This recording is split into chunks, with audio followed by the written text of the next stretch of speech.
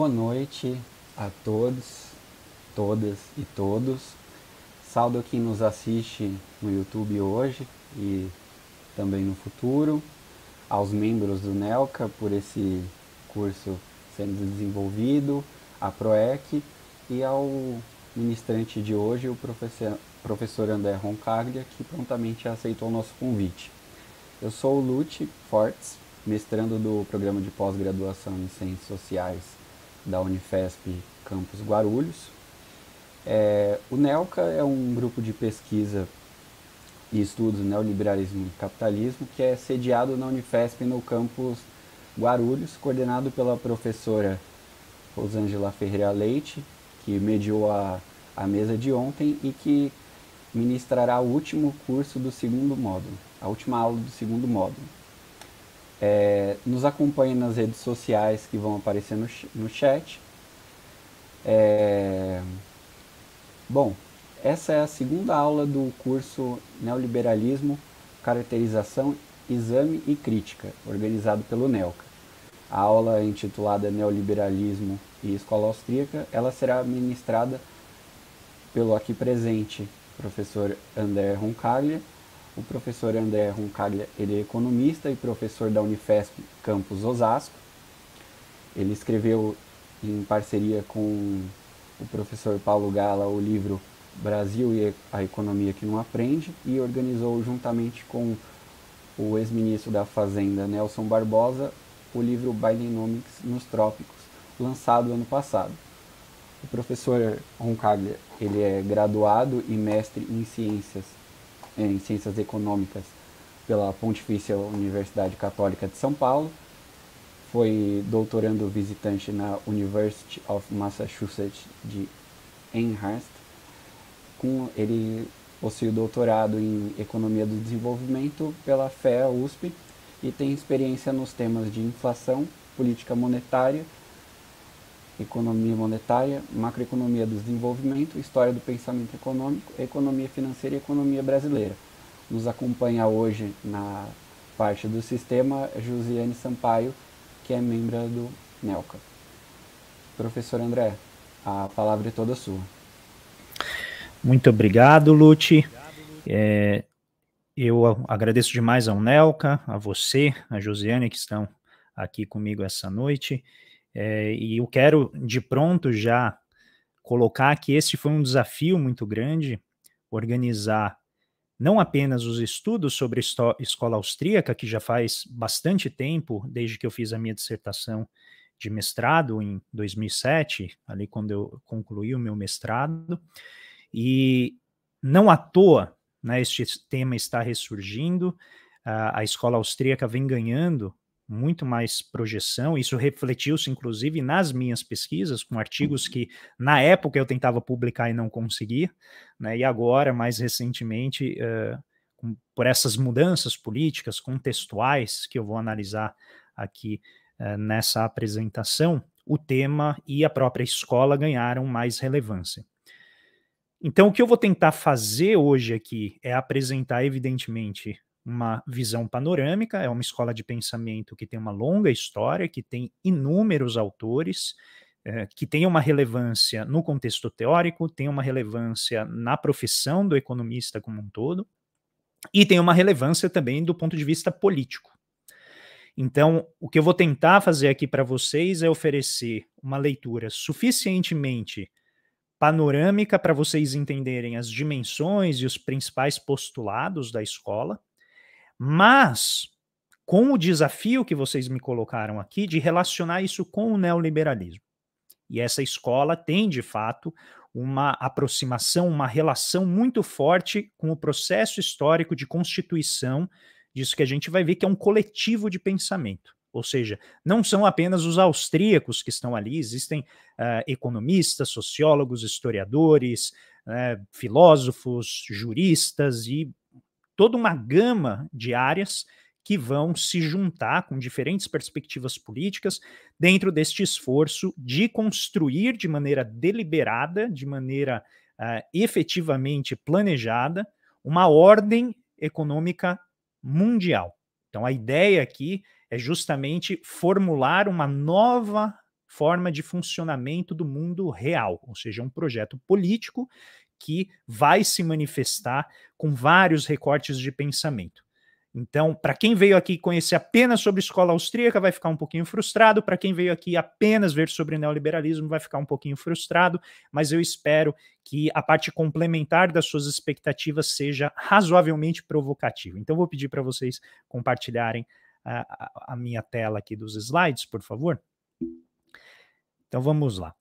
Então, discutir neoliberalismo e a sua vamos dizer, o seu espaço de relação com a escola austríaca é um desafio grande. Então, em primeiro lugar, por que, que a gente está discutindo o neoliberalismo, né, todo esse conjunto de palestras que vocês estão fazendo aqui, que tem o um nome feliz de neoliberalismos, né, porque existem várias definições, é um tema altamente controverso, é, principalmente na área da economia, o pessoal não leva muito a sério, acho que não existe isso, que isso é, na verdade, uma, uma palavra utilizada pelos detratores do, do liberalismo, é, utilizada sempre né, contra quem defende alguma, em alguma medida né, o liberalismo. Seria o liberalismo clássico e tal. E a gente vai ver que é na verdade, bastante diferente a partir da perspectiva que eu vou apresentar aqui para vocês. Mas o que eu queria mostrar nessa imagem inicial é como tem crescido o interesse pelo tema neoliberalismo. Então a gente tem aqui, primeiro, é, no gráfico aqui da esquerda, idiomas, desculpa, livros são publicados em vários idiomas, e aí em amarelo ali a gente tem em espanhol e português. Né? Aqui no lado direito os gráficos mostram livros sobre neoliberalismo e artigos acadêmicos citando o neoliberalismo de acordo com o levantamento feito né, na JSTOR. Então, note que a relevância do tema é grande e, em geral, quando a relevância é grande, as controvérsias elas também se espraiam. Eu vou começar com uma definição de neoliberalismo que vai, na sequência, ser criticada do ponto de vista não da, da afirmação em si, mas do ponto de vista que eu vou adotar aqui nessa apresentação. Então, é a definição, ou uma delas, né, que o David Harvey coloca é, no livro dele, Neoliberalismo, História e Implicações, em que o neoliberalismo é, em primeira instância, uma teoria das práticas de economia política promulgada pelo Estado, que propõe que o bem-estar humano pode ser melhor promovido pela liberação ou pelo desenvolver de suas liberdades e habilidades empreendedoras individuais, dentro de uma estrutura institucional caracterizada por inabaláveis direitos de propriedade, mercados desregulados e livre comércio. Tá? Bom, então, em essência, o neoliberalismo o que, que é? Uma agenda, é uma forma de proceder, uma forma de enxergar o funcionamento do mundo, que basicamente busca liberar as capacidades empreendedoras dos indivíduos, entendendo a vida um pouco como no plano individual ela fosse muito parecido com uma empresa. Né? Então, qualquer pessoa que liga, entra nas redes sociais, principalmente o Instagram, vai ver ali né, a Seara, mas o YouTube também, aquela Seara dos empreendedores de si mesmo, né, pessoas que levantam, sacodem a poeira e todo dia vão lutar lá para garantir o seu lucro, garantir a sua renda, e aí tem todas as formas de enriquecimento, e como acompanha toda essa forma de, de enxergar o mundo, uma certa cosmologia, uma certa, inclusive, um conjunto de princípios morais para autoavaliação do indivíduo. Tá? Então, o sucesso seria medido então pela quantidade né, de riqueza, pela capacidade de construir oferecer valor para a sociedade. Entendido aqui, a gente vai ver daqui a pouco que o valor vai ser medido de acordo com a capacidade de atrair a atenção das pessoas e fazer com que elas gastem dinheiro com você ou que elas deem a atenção para vocês na forma de cliques. Então vai ter várias medidas né, de sucesso, mas em essência o neoliberalismo é essa fragmentação da vida de, de maneira que cada um persiga o seu autointeresse de maneira desimpedida e principalmente uh, sem coerção do Estado, sem qualquer coisa que impeça a livre cooperação entre os indivíduos. Bom, eu queria, antes de tudo, pontuar que o neoliberalismo ele vai ter um conjunto de, de práticas que vão ser bastante seletivas. E do ponto de vista teórico, essas práticas vão emergir, então, como uma forte aversão àquilo que se entende pelo ambiente de trabalho herdado do modelo fordista. Que veio ali do período de 1930, mas essencialmente o pós-guerra, né? 1945 até final dos anos 70, quando a gente tem a guinada efetivamente na, na política concreta, né? no, no jogo da história, eh, e se inicia o que a gente chama do período de hegemonia do neoliberalismo. Bom, em essência, o que isso, isso significa para um ambiente de trabalho que é fortemente, eh, não vou usar o termo perseguido, para não parecer conspiratório, mas é fortemente focalizado. Né? Então a gente vai ter mudanças sistêmicas e baseadas em valor de mercado que vão minar ou privatizar aquilo que a gente entende por bem comum. Ah, vocês já devem ter visto o vídeo de um econocoach, que é como eu chamo esse pessoal, falando que tem mais vaca do que baleia porque a vaca é privatizada, né? e a baleia não é privatizada porque o que é né, público não é de ninguém porque é de todos ao mesmo tempo. Então é um pouco né, a cápsula desse tipo de pensamento. Depois, a mão de obra indiferenciada, intercambiável e barata. A tecnologia também teria esse efeito de tornar a mão de obra indiferenciada. E isso vai levar à centralização de expertise em poucas mãos, gerando desigualdade, mas também produzindo todo um exército de reserva que vai ser utilizado pelos aplicativos, que é hoje onde se concentra as big techs, a grande parte do lucro mundial. Depois, ataques crescentes a sindicatos e organização de trabalhadores. Aí depois eu vou deixar o arquivo aqui para vocês. Tem o caso da Amazon, no estado norte-americano do Alabama, em que os trabalhadores tentaram se organizar e a empresa usou todo o método que ela tem ali de controle cibernético para impedir né, a união dos trabalhadores. Depois, minimização de custos, esse vai ser um ponto central do, do neoliberalismo. Então, a gente vai ver corte de de gasto com pessoal, com treinamento, e aqui eu deixei o caso Boeing, para quem ainda não viu o documentário na Netflix, né, que, é, que é da Livre, em que mostra como a empresa começou a perder controle da sua atividade porque ela começou a adotar esse foco em minimização de custo e começou a perder qualidade, é, quebrar a verticalização da empresa e assim por diante. Depois, rebaixamento moral dos menos afortunados, os ricos vão ser alguém que a gente tem que emular, que a gente tem que copiar porque eles produzem valor. E, finalmente, a baixa transparência das corporações. E aí eu cito esse livro aqui da Elizabeth Anderson, que é um livro que eu gosto muito, que chama Governo Privado, em que ela vai mostrar que a ideia liberal, que muitas vezes se comenta, ou se divulga, ou se defende, é uma ideia que foi ultrapassada, que parou lá no século XVII e que foi basicamente demolida pela Revolução Industrial, na qual se criaram as grandes corporações que hoje se comportam basicamente como grandes governos autoritários, em que eh, você lá dentro tem que responder ao jogo delas. E esse é um livro muito interessante, vale muito a pena né, quem tiver interesse nessa literatura. Bom, então a problematização que eu queria fazer é a seguinte: Entender a escola austríaca no contexto do neoliberalismo envolve entender essa frase aqui do Friedman.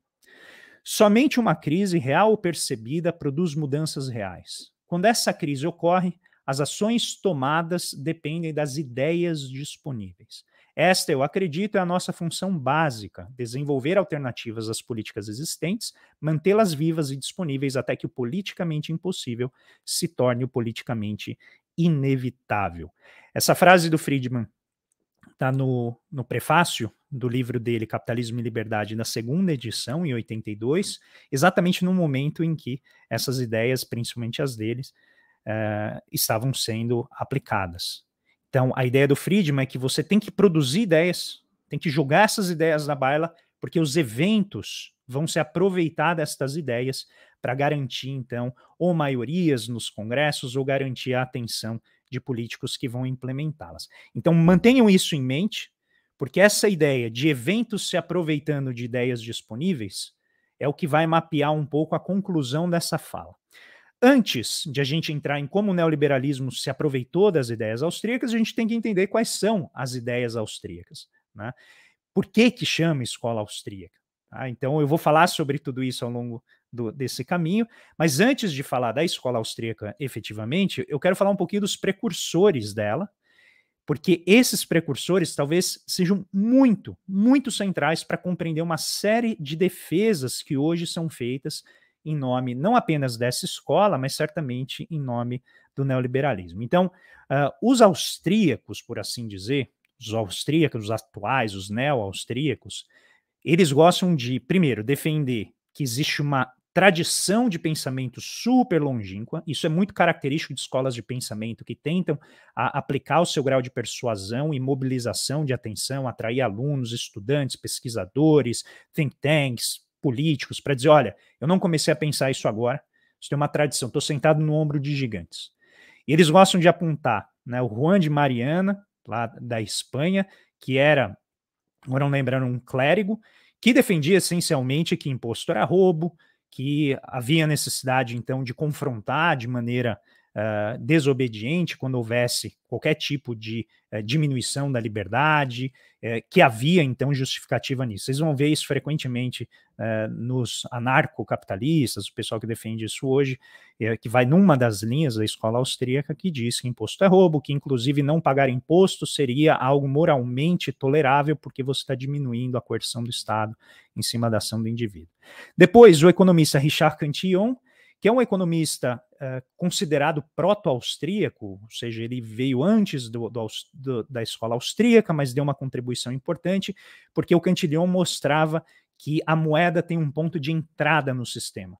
E esse ponto de entrada altera a forma como a moeda vai se distribuir pela economia. Aqueles que recebem inicialmente a moeda ficam numa posição distributiva melhor do que aqueles que vão receber a moeda conforme o próprio, usando um termo marxiano aqui, o metabolismo da mercadoria vai acontecendo, esse dinheiro vai penetrando gradativamente os diferentes mercados.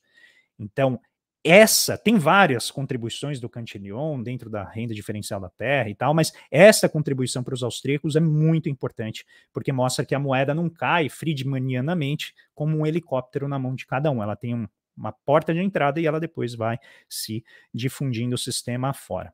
E finalmente, talvez aquele que seja mais fundamental para se entender a vertente neoliberal dessa escola austríaca, que é o Frederic Bastiat, que é um economista pouquíssimo estudado em economia, mesmo nas aulas de HPE. Raramente ele é trazido à baila, mas para os austríacos ele é fundamental. Então eu vou colocar aqui algumas citações para vocês terem uma ideia do que eu estou falando. E vamos falar, por fim, da lei de Sé, né, do economista Jean-Baptiste Sé, que também vai dar uma contribuição importante. Mas esses aqui são né, economistas que eu considero centrais. Eu quero focar no Bastiat, porque o Bastiat eu acho que ele traz elementos novos que possivelmente vocês não ouviram falar, né, então tem um ganho adicional aqui nessa fala. Então, o Bastiat, ele acabou reduzindo toda a economia, eliminando aspectos de classe social, de fatores de produção, ele reduziu a economia a basicamente um sistema de trocas de serviços entre indivíduos. Ele homogeneiza toda a atividade econômica, todas as trocas, numa produção de serviços, seja qual fator de produção você estiver usando. O trabalhador oferece um serviço na forma de força de trabalho, o empresário oferece um serviço que é tomar risco e ele é remunerado isso na forma de lucro e assim por diante. Então, diz aqui o Bastiat: quando dois homens estão isolados, se eles trabalham, é para fornecer um serviço para si mesmos. Onde há uma troca envolvida, cada pessoa está prestando um serviço para o outro e recebe um serviço equivalente em troca. Se um deles é ajudado por alguma força da natureza que está à disposição do outro, essa força não será incluída na negociação, pois o direito de recusar se oporá a isso. Então, essencialmente, o que, é isso, gente? A liberdade de trocas voluntárias. Então, as trocas voluntárias melhoram o padrão de vida das pessoas, porque permite que os indivíduos de, né, desenvolvam a sua atividade com grande destreza e ofereçam para o outro aquilo que eles não podem produzir. Então, num mercado livre, as partes, em uma troca, têm a liberdade de participar na troca ou a recusa de fazer. Então, é central essa ideia né, da, das trocas voluntárias. Se ligarem o YouTube aí com esses uh, econocoaches e os, os grandes youtubers de finanças, eles frequentemente vão fazer referência a essa ideia que o Bastiat toma como central. Depois, ele também oferece uma teoria subjetiva do valor, não é, também não era novidade quando ele fez isso, mas certamente é também uma contribuição importante. E, finalmente, a universalização da coisa que está sendo trocada como um serviço, porque elimina aquele recorte de classe. Né? Você então homogeneiza tudo dentro de uma atividade atomizada, que é a prestação de um serviço. Então, não importa se a coisa trocada é uma mercadoria boa ou uma mercadoria mais ou menos, né, mas uma quantia de dinheiro sob a forma de um empréstimo, uma quantia de dinheiro sob forma de um salário, um bem material, como a saúde, né, os serviços de saúde de um médico, os serviços de entretenimento, um cantor de ópera, os serviços educacionais. Tudo isso é um serviço que vai ser trocado. Então, indo mais direto para temas mais salientes e que vão ser muito aproveitados no contexto do neoliberalismo, olha que o Bastiat já colocava, isso aqui foi tirado direto de uma apresentação do Instituto Milênio, né, que eu vou falar, é Millennium, né, que eu vou falar também mais para frente, e notem já a aversão àquilo que se entende por Estado. Né? O Estado é a grande ficção da qual todo mundo se esforça para viver às custas de todo mundo. Os socialistas temem todas as liberdades. Não esperar senão duas coisas do Estado: liberdade e segurança e ter bem claro que não se poderia pedir mais uma terceira coisa sob o risco de perder as outras duas. E aqui no finalzinho, nós não podemos duvidar que o autointeresse é o principal motivo da natureza humana. Deve ser claramente compreendido que essa palavra é usada aqui para designar um incontestável fato universal. Fato universal. Isso vai ser muito importante para a teoria da ação humana, para a axiologia né, do Mises, muito embora não me lembre de ele fazer referência direta ao Bastiat, mas essa ideia ela é certamente muito importante. E esse incontestável fato universal resulta da natureza do homem e não é um julgamento hostil como seria a palavra egoísmo. Para quem tiver interesse, tem um livro que chama As Paixões e os Interesses, do Albert Hirschman, em que ele justamente vai falar como que os interesses, que era uma palavra que carregavam toda uma série de conotações moralistas, pejorativas no período anterior, né, século XVI, XVII, no século XIX vai ser reabilitado como uma virtude e vai servir certamente para o desenvolvimento do capitalismo. Depois, uh, a lei de Sé, né, eu coloquei aqui lei entre aspas, porque o próprio Sé acaba contradizendo, não chega a rejeitar, né, mas diz que aquela é apenas uma lei preliminar no final do próprio livro. Mas essencialmente a ideia é que produtos se pagam com produtos então, pode até ter um excedente quando você produz alguma coisa, né, mas assim que tiver oportunidade, o empresário vai tentar vender aquilo rapidamente. Como que a gente reduz a lei de Sé? A oferta cria a sua procura. Então, aqui diz o Sé: nos lugares que produzem muito, cria-se a única substância com a qual se pode comprar. Refiro-me ao valor. O dinheiro representa apenas um ofício passageiro, um meio de troca nessa troca dupla. E terminadas as trocas, verifica-se sempre: produtos foram pagos com produtos. Os produtos criados fazem nascer demandas diversas. Em outras palavras, a lei de Sé ficou conhecida como a ideia de que a oferta cria sua procura. Muitas vezes os austríacos vão rejeitar, falar, ah, mas o Sé não falou isso, e vão lá no texto, como eu estou fazendo aqui, mas a gente vai ver que na história das ideias, é mais importante como a ideia foi absorvida do que em si a intenção de quem a proferiu. Então, a ideia é que, que um produto, tão logo seja criado, nesse mesmo instante forme um mercado para outros produtos adequando ao próprio valor. A mera circunstância da criação de um produto imediatamente abre um mercado para outro produto, ou seja, a oferta é o ponto central aqui da análise, ou seja, tem que ter a produção, tem que ter alguém sacrificando o seu consumo presente, pegando esses recursos, mobilizando na produção para gerar mais bens e serviços lá na frente. Por daí a importância da taxa de juros, que seria esse barômetro né, da capacidade de postergação, de adiamento do prazer que os empresários, que é essa figura mitológica dentro dessa abordagem que a gente vai ver, porque é alguém que corre risco, que vai descobrir oportunidades e vai fazer a economia girar, vai produzir valor. Este empresário, então, mobiliza né, tanto a sua capacidade de espera, quanto os recursos que ele tem à mão, os recursos escassos, para poder produzir valor. Bom, entrando mais efetivamente agora na escola austríaca. Eu trouxe aqui esse quadro só para vocês verem que a vida de historiador do pensamento não é fácil. Tá? Então, mesmo aquilo que se chama de maneira homogênea de escola austríaca, a gente vai ter diferentes correntes, vai ter diferentes focos a partir de determinados pensadores.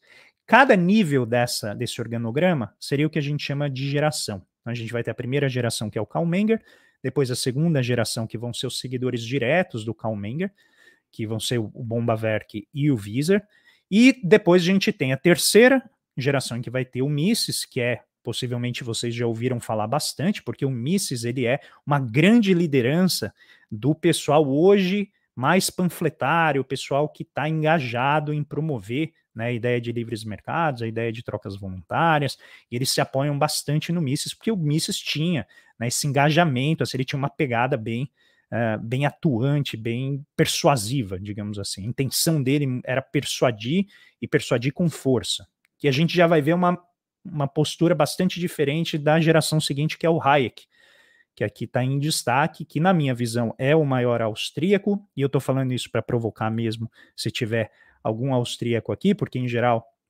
né, eles não, não acham que o Hayek é tão uh, central, assim, tão importante. Muitos deles, tá? Vários, vários estão comigo em achar que o, o, o Hayek é talvez o maior austríaco de todos.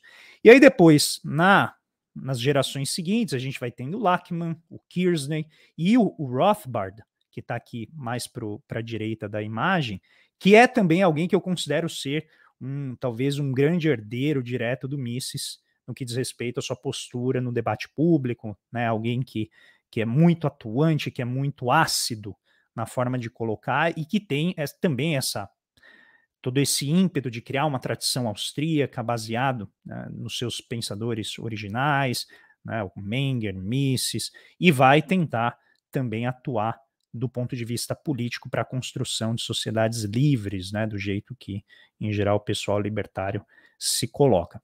Mas é uma escola bastante heterogênea, tá? Ela não é uma escola em si é, toda, vamos dizer, organizadinha de acordo com, eh, com, base em concordâncias, tem muita heterogeneidade. Inclusive, a primeira dica de leitura que eu vou fazer aqui, né, para quem quiser conhecer a economia e filosofia da escola austríaca do Ricardo Feijó, ele essa é a tese de doutorado dele e ele vai deshomogeneizar a epistemologia, ou seja, como que se que via a questão do conhecimento em Hayek no Menger e no Mises, tá? para mostrar que eles tinham perspectivas epistemológicas de como o conhecimento é utilizado, como que ele se produz, como que se faz, né, produz conhecimento a partir da ciência ou da, da economia, uh, mostrando que eles são muito diferentes entre eles, apesar de manter alguns postulados comuns que eu vou expor daqui a pouco. Então, essa deshomogeneização ao longo da história da escola austríaca também deve ser feita no aquilo que a gente chama de revolução marginalista, que foi aquele processo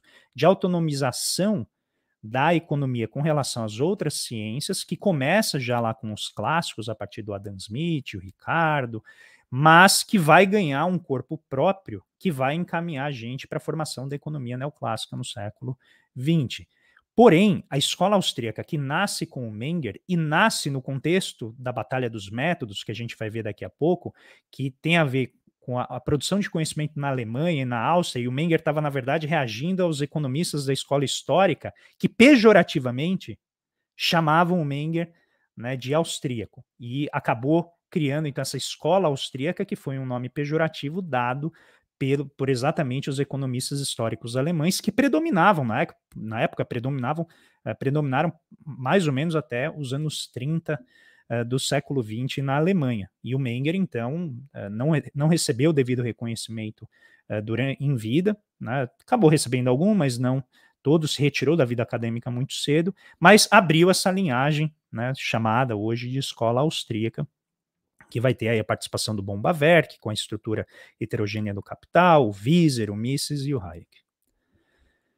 Então também, desculpa, só para voltar, é preciso deshomogeneizar a própria revolução marginalista, porque o que o Menger faz é bastante diferente daquilo que o Valhay e o Jevons, que são os outros principais uh, precursores desta chamada revolução, né, não chega a ser uh, em si uma revolução, mas é certamente a consolidação de um caminho, de uma teoria que se aproxima da pureza teórica, epistemológica, né, uma teoria dedutiva, uma teoria que busca é, extrair conclusões a partir de premissas e axiomas, que vai levar, evidentemente, a, a, a economia ser essa ciência matemática, por assim dizer, no período do pós-guerra. Tá? Mas é um longo caminho, a aula não é, so, não, não é sobre isso, então eu deixo novamente Aqui, nesse livro do Feijó, tem toda uma discussão sobre essa contextualização, para quem tiver interesse.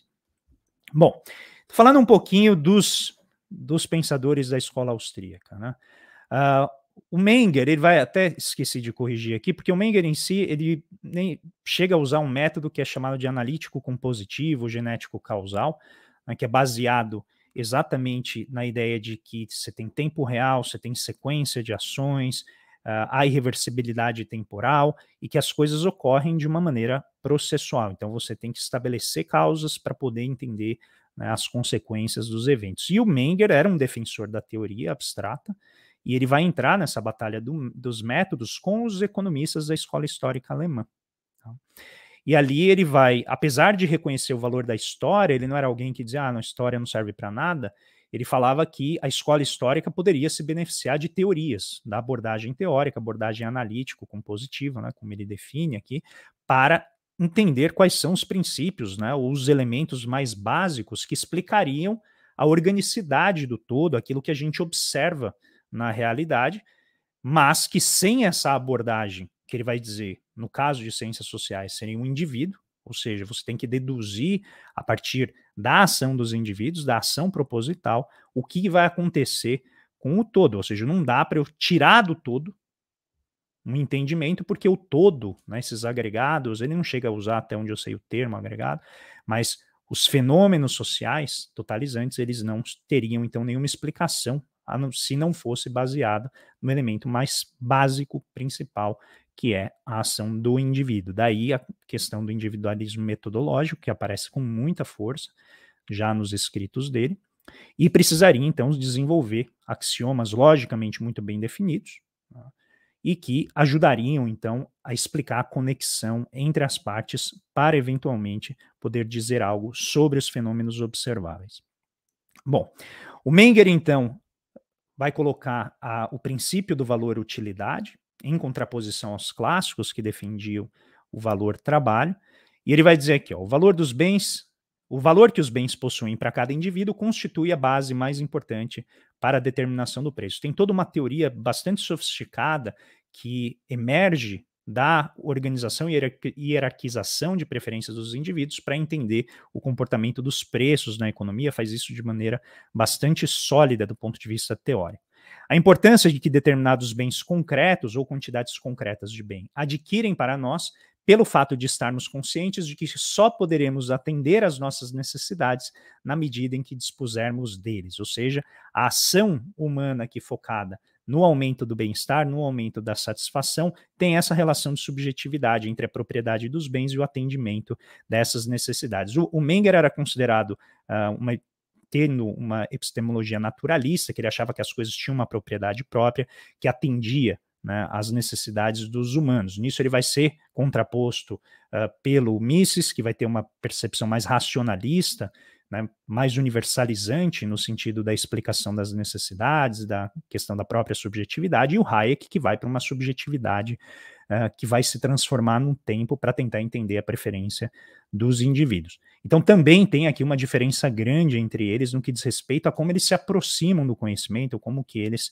entendem a própria formação do conhecimento econômico. Bom, depois outro conceito fundamental que é a ordem espontânea que o Adam Smith já havia criado e desenvolvido na Riqueza das Nações e de maneira mais indireta na Teoria dos Sentimentos Morais e também na História da Astronomia, que é outro livro do Adam Smith pouquíssimo estudado e que vale muito a pena estudar e ler. Uh, o Menger também vai ter essa visão da ordem espontânea que vai atravessar toda a escola austríaca.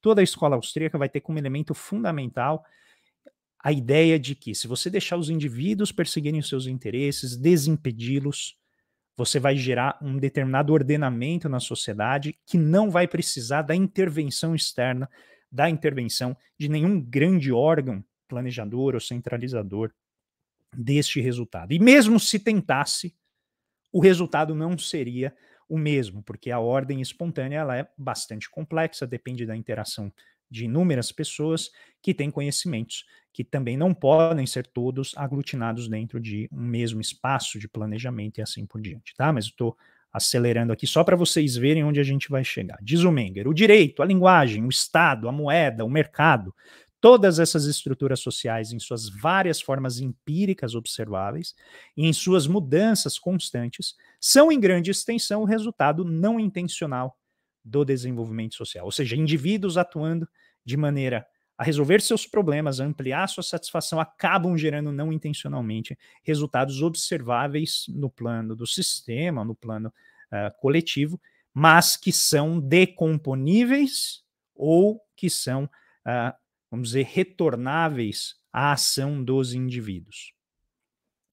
Daí a ideia de que os indivíduos atuando a partir do conhecimento limitado que eles têm das próprias possibilidades disponíveis, cujos ampliadores vão ser os empreendedores. Então, os empreendedores vão lá correr risco, vão identificar potencialidades, e mais tarde, com Israel Kirzner, vai até ter uma discussão sobre a publicidade, né, sobre o papel da propaganda em, por exemplo, afetar a própria subjetividade dos agentes, no sentido de entender né, esses desejos que o Menger está colocando aqui, que depende da propriedade das coisas.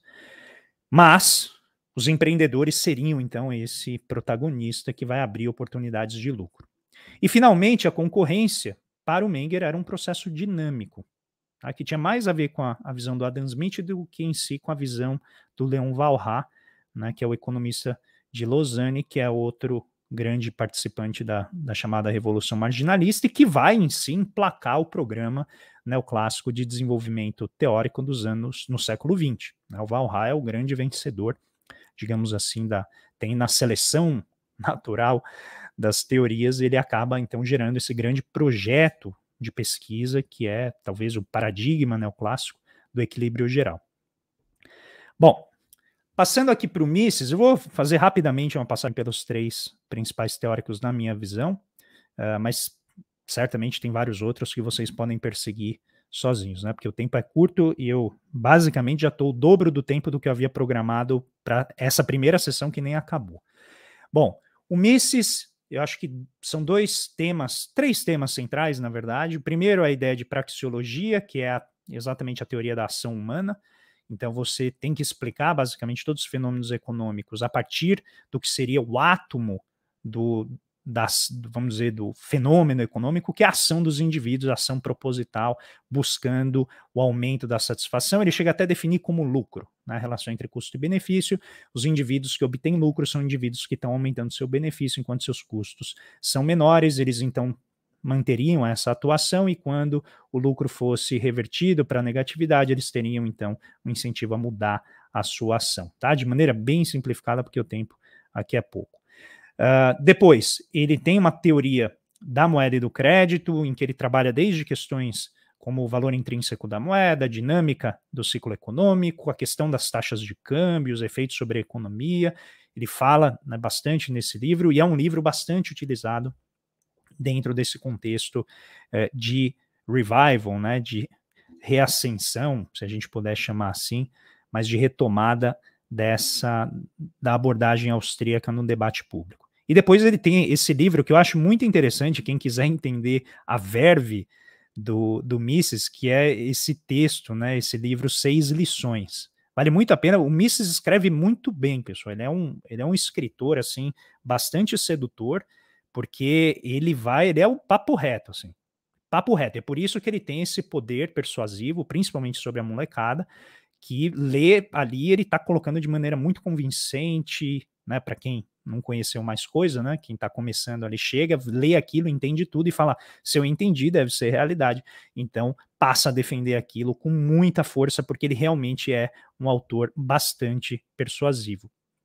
E aí diz ele aqui no contexto do debate do cálculo socialista, no século, uh, na década de 20, que é quando ele inicia esse ataque às premissas teóricas do socialismo, ele vai dizer que vai figurar né, no, no, famoso debate do cálculo socialista, que é um debate teórico entre neoclássicos, essencialmente, mas tem ali comunistas e socialistas debatendo com o Mises, que é a possibilidade de você ter uma organização da produção no sistema socialista de maneira a sustentá-lo.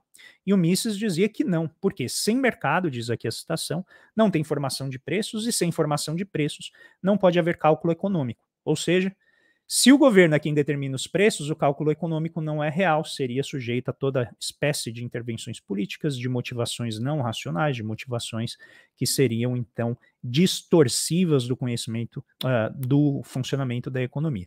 Então, é falso né, o mecanismo de formação de preços.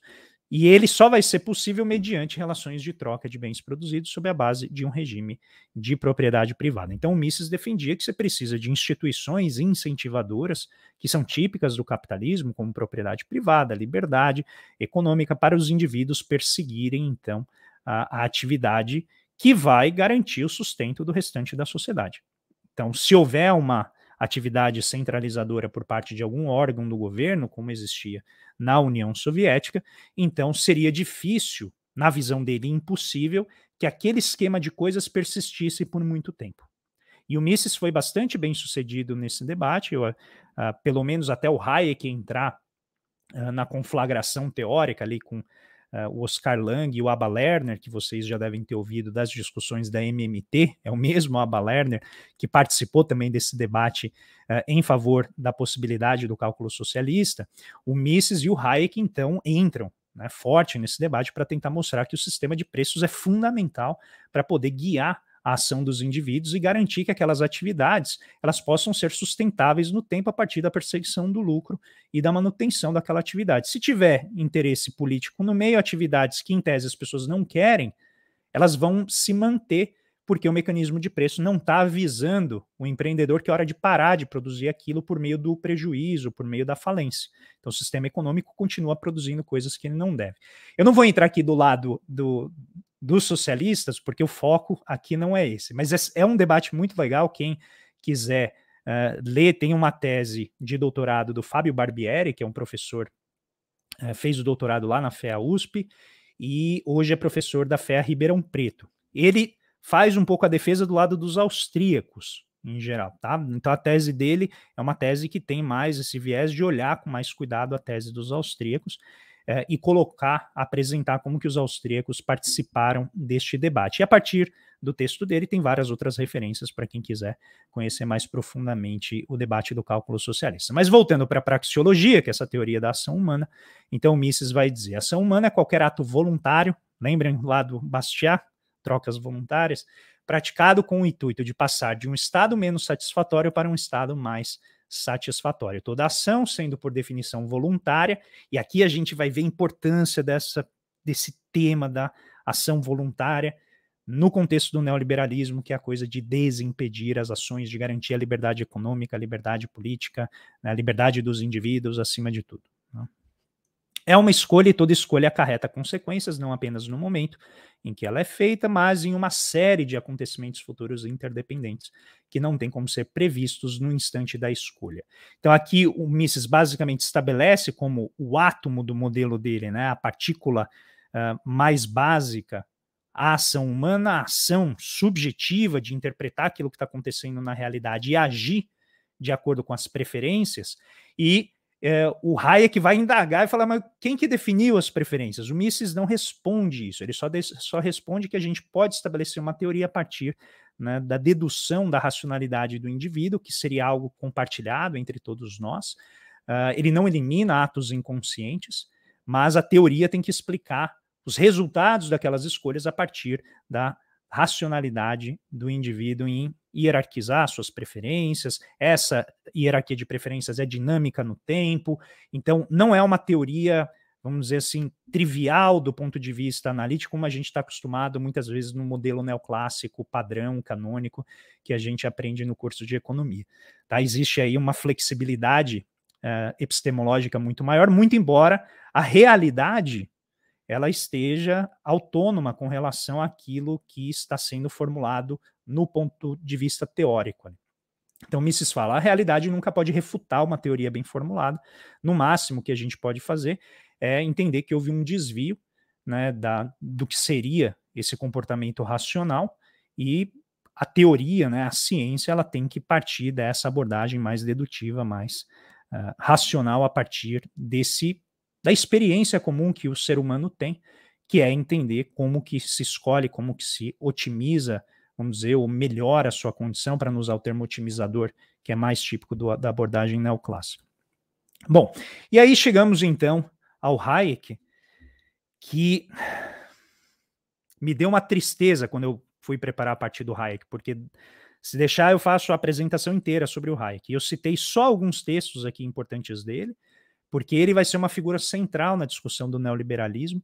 Ele vai ser basicamente aquele que organiza toda, todo o colóquio de diferentes pensadores e intelectuais na formação da sociedade Montpellier, que vai ser um veículo importante para a constituição posterior daquilo que a gente vai chamar de neoliberalismo. Então, o Hayek ele vai ser um pensador fundamental na escola austríaca, E eu sempre recomendo que as pessoas vão ler o Hayek. Curiosamente, os maiores defensores da escola austríaca, uh, nas redes sociais, frequentemente fazem referência ao Hayek, mas eu acho que deveriam fazer mais, porque para mim ele, ele, junto com o Menger, é o pensador mais sofisticado que abrangeu o maior, maior número de campos do conhecimento, e apesar de ter posições políticas que eu reputo como posições erradas, como posições diferentes da minha, ele certamente tem uma densidade e uma capacidade analítica impressionantes. Então vale muito a pena ler, né? Eu fiz minha dissertação de mestrado sobre ele e tentar entender o que, que o Hayek deriva da sua do problema que ele tem em entender a subjetividade do agente, como isso afeta, como a gente pensa, como a gente formula teorias e como a gente age. E essa relação subjetiva com o mundo externo vai ter uma relação de feedback, de retroalimentação. Na medida em que os meus interesses, as minhas perspectivas vão formulando planos de ação, e esses planos de ação vão se chocando com os planos de ação de outros indivíduos na sociedade, e a partir desse choque, o sistema de preços vai enviando informações para os indivíduos ajustarem os seus planos de ação na medida em que aquilo que eles individualmente desejam podem não corresponder no plano sistêmico à disponibilidade de recursos que está ali naquela economia. Mas esse processo não é apenas um processo maquinal de produção, ele é um processo fundamental de produção de conhecimento. Então, fixem bem isso, porque essa é a parte mais importante para a gente entender o neoliberalismo que é transformar um mercado de um dispositivo alocativo numa, num, me, num mecanismo epistêmico, num mecanismo que produz conhecimento. Não é só produz conhecimento para dizer, ah, o preço da banana subiu porque teve algum problema no mercado, então vou atuar o meu plano de ação. Não, ele é também um mecanismo de descoberta. E é esse ponto que vai fazer o mercado, a partir da concorrência, se tornar o elemento central do neoliberalismo como um organizador das diferentes instâncias da sociedade. E é aqui que a coisa fica radical, porque não se trata apenas de alocar o capital, alocar os recursos na economia, mas se trata de um dispositivo que vai permitir as pessoas organizarem a sua vida, entender a sua ação, mensurar e calibrar o resultado das suas ações. Então, o mercado vai se tornar essa instância validadora da ação humana a partir deste conceito de ordem. Ou seja, a ordem está dentro do sistema, um padrão emergente, uma estrutura que, em geral, ela é instável, ela é sempre transitória, vai ser fundamental dentro da teoria da abordagem austríaca para se compreender os fenômenos, vamos dizer, observáveis. Tá? Então, o que, que é a ordem? A ordem é essencialmente esse estado de coisas, palavras do Hayek aqui, no qual uma multiplicidade de elementos de vários tipos estão tão relacionados uns com os outros então, notem aqui a quantidade de elementos, isso é típica da abordagem de complexidade. Eles estão tão relacionados uns com os outros que podemos aprender, por meio da nossa familiaridade com alguma parte espacial ou temporal do todo, e aí o Westerheim, né? Westerheim, que é essa propriedade comum da experiência que todo ser humano tem, ou seja, a gente tem uma familiaridade com aquele objeto a partir da nossa própria experiência, então o próprio teórico consegue formular uma explicação a partir dessa experiência comum que faz parte da humanidade. Essa familiaridade, então, vai permitir a formação de expectativas corretas em relação ao resto, ou pelo menos expectativas que têm uma boa chance de se provarem corretas. Então, Hayek definia o equilíbrio quando a ordem está em determinada posição, que a probabilidade de você acertar uma expectativa, a formação de um plano de ação, ela é muito alta. Em geral, a economia está se movendo. Né? E os austríacos têm essa percepção causal genética da economia, né? uma perspectiva de processo, de avanço.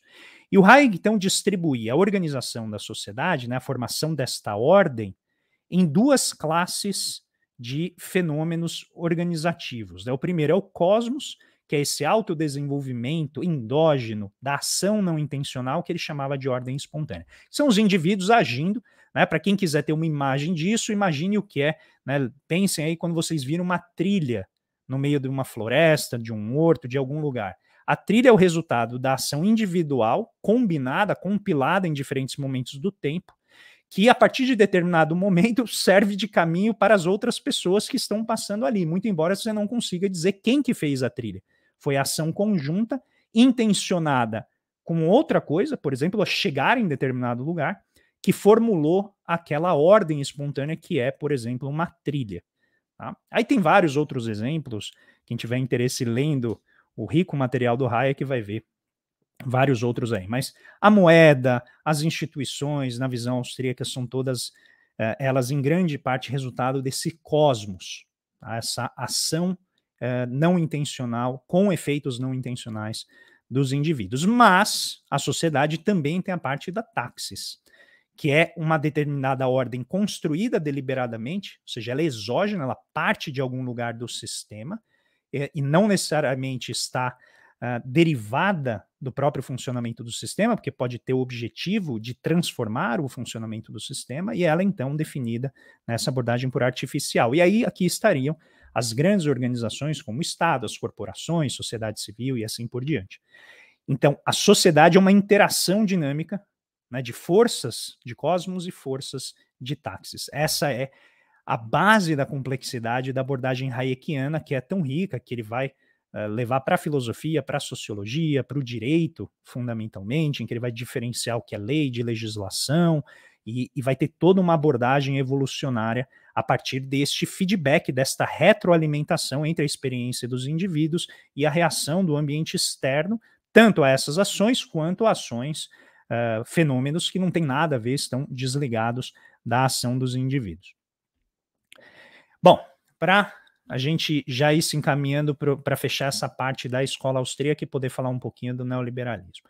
Então, o que, que a gente vai ter é, de elementos comuns? Mesmo esses elementos comuns possivelmente vão ser controversos a depender de em que ponto da, da escola austríaca determinada pessoa estiver, tá? Mas em essência, o individualismo metodológico que forma a ordem espontânea, eu preciso explicar os fenômenos sociais, os fenômenos coletivos a partir de um conjunto de decisões individuais, porque só um indivíduo age, só um indivíduo tem a capacidade de tomar decisões e escolher. Então, o segundo ponto é a praxeologia, que é exatamente a teoria da ação humana, que vem do individualismo metodológico, né, uma instância de aplicação do individualismo metodológico. Uh, o subjetivismo evolutivo do Hayek, essa ideia de retroalimentação entre as percepções individuais e o aprendizado na interação com a realidade concreta, com a realidade externa ao indivíduo.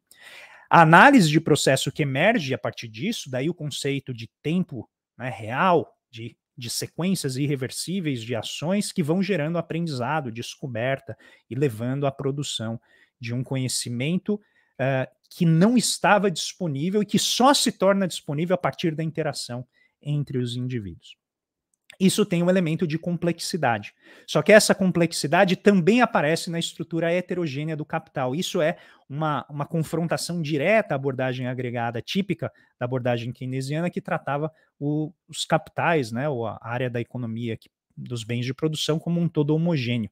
Então, os austríacos vão fazer uma divisão bastante sofisticada entre bens de produção e bens de consumo, que também já estava disponível antes, eles não inventam isso, mas certamente uh, eles elaboram isso de uma maneira muito sofisticada, e o texto de 1942, 41 ou 42 do Hayek, Teoria Pura do Capital, é talvez a representação mais sofisticada, ainda que pouco persuasiva, no contexto da profissão do economista naquele período tá? mas é, é realmente bastante sofisticado, é um catatal enorme de teoria pura do capital.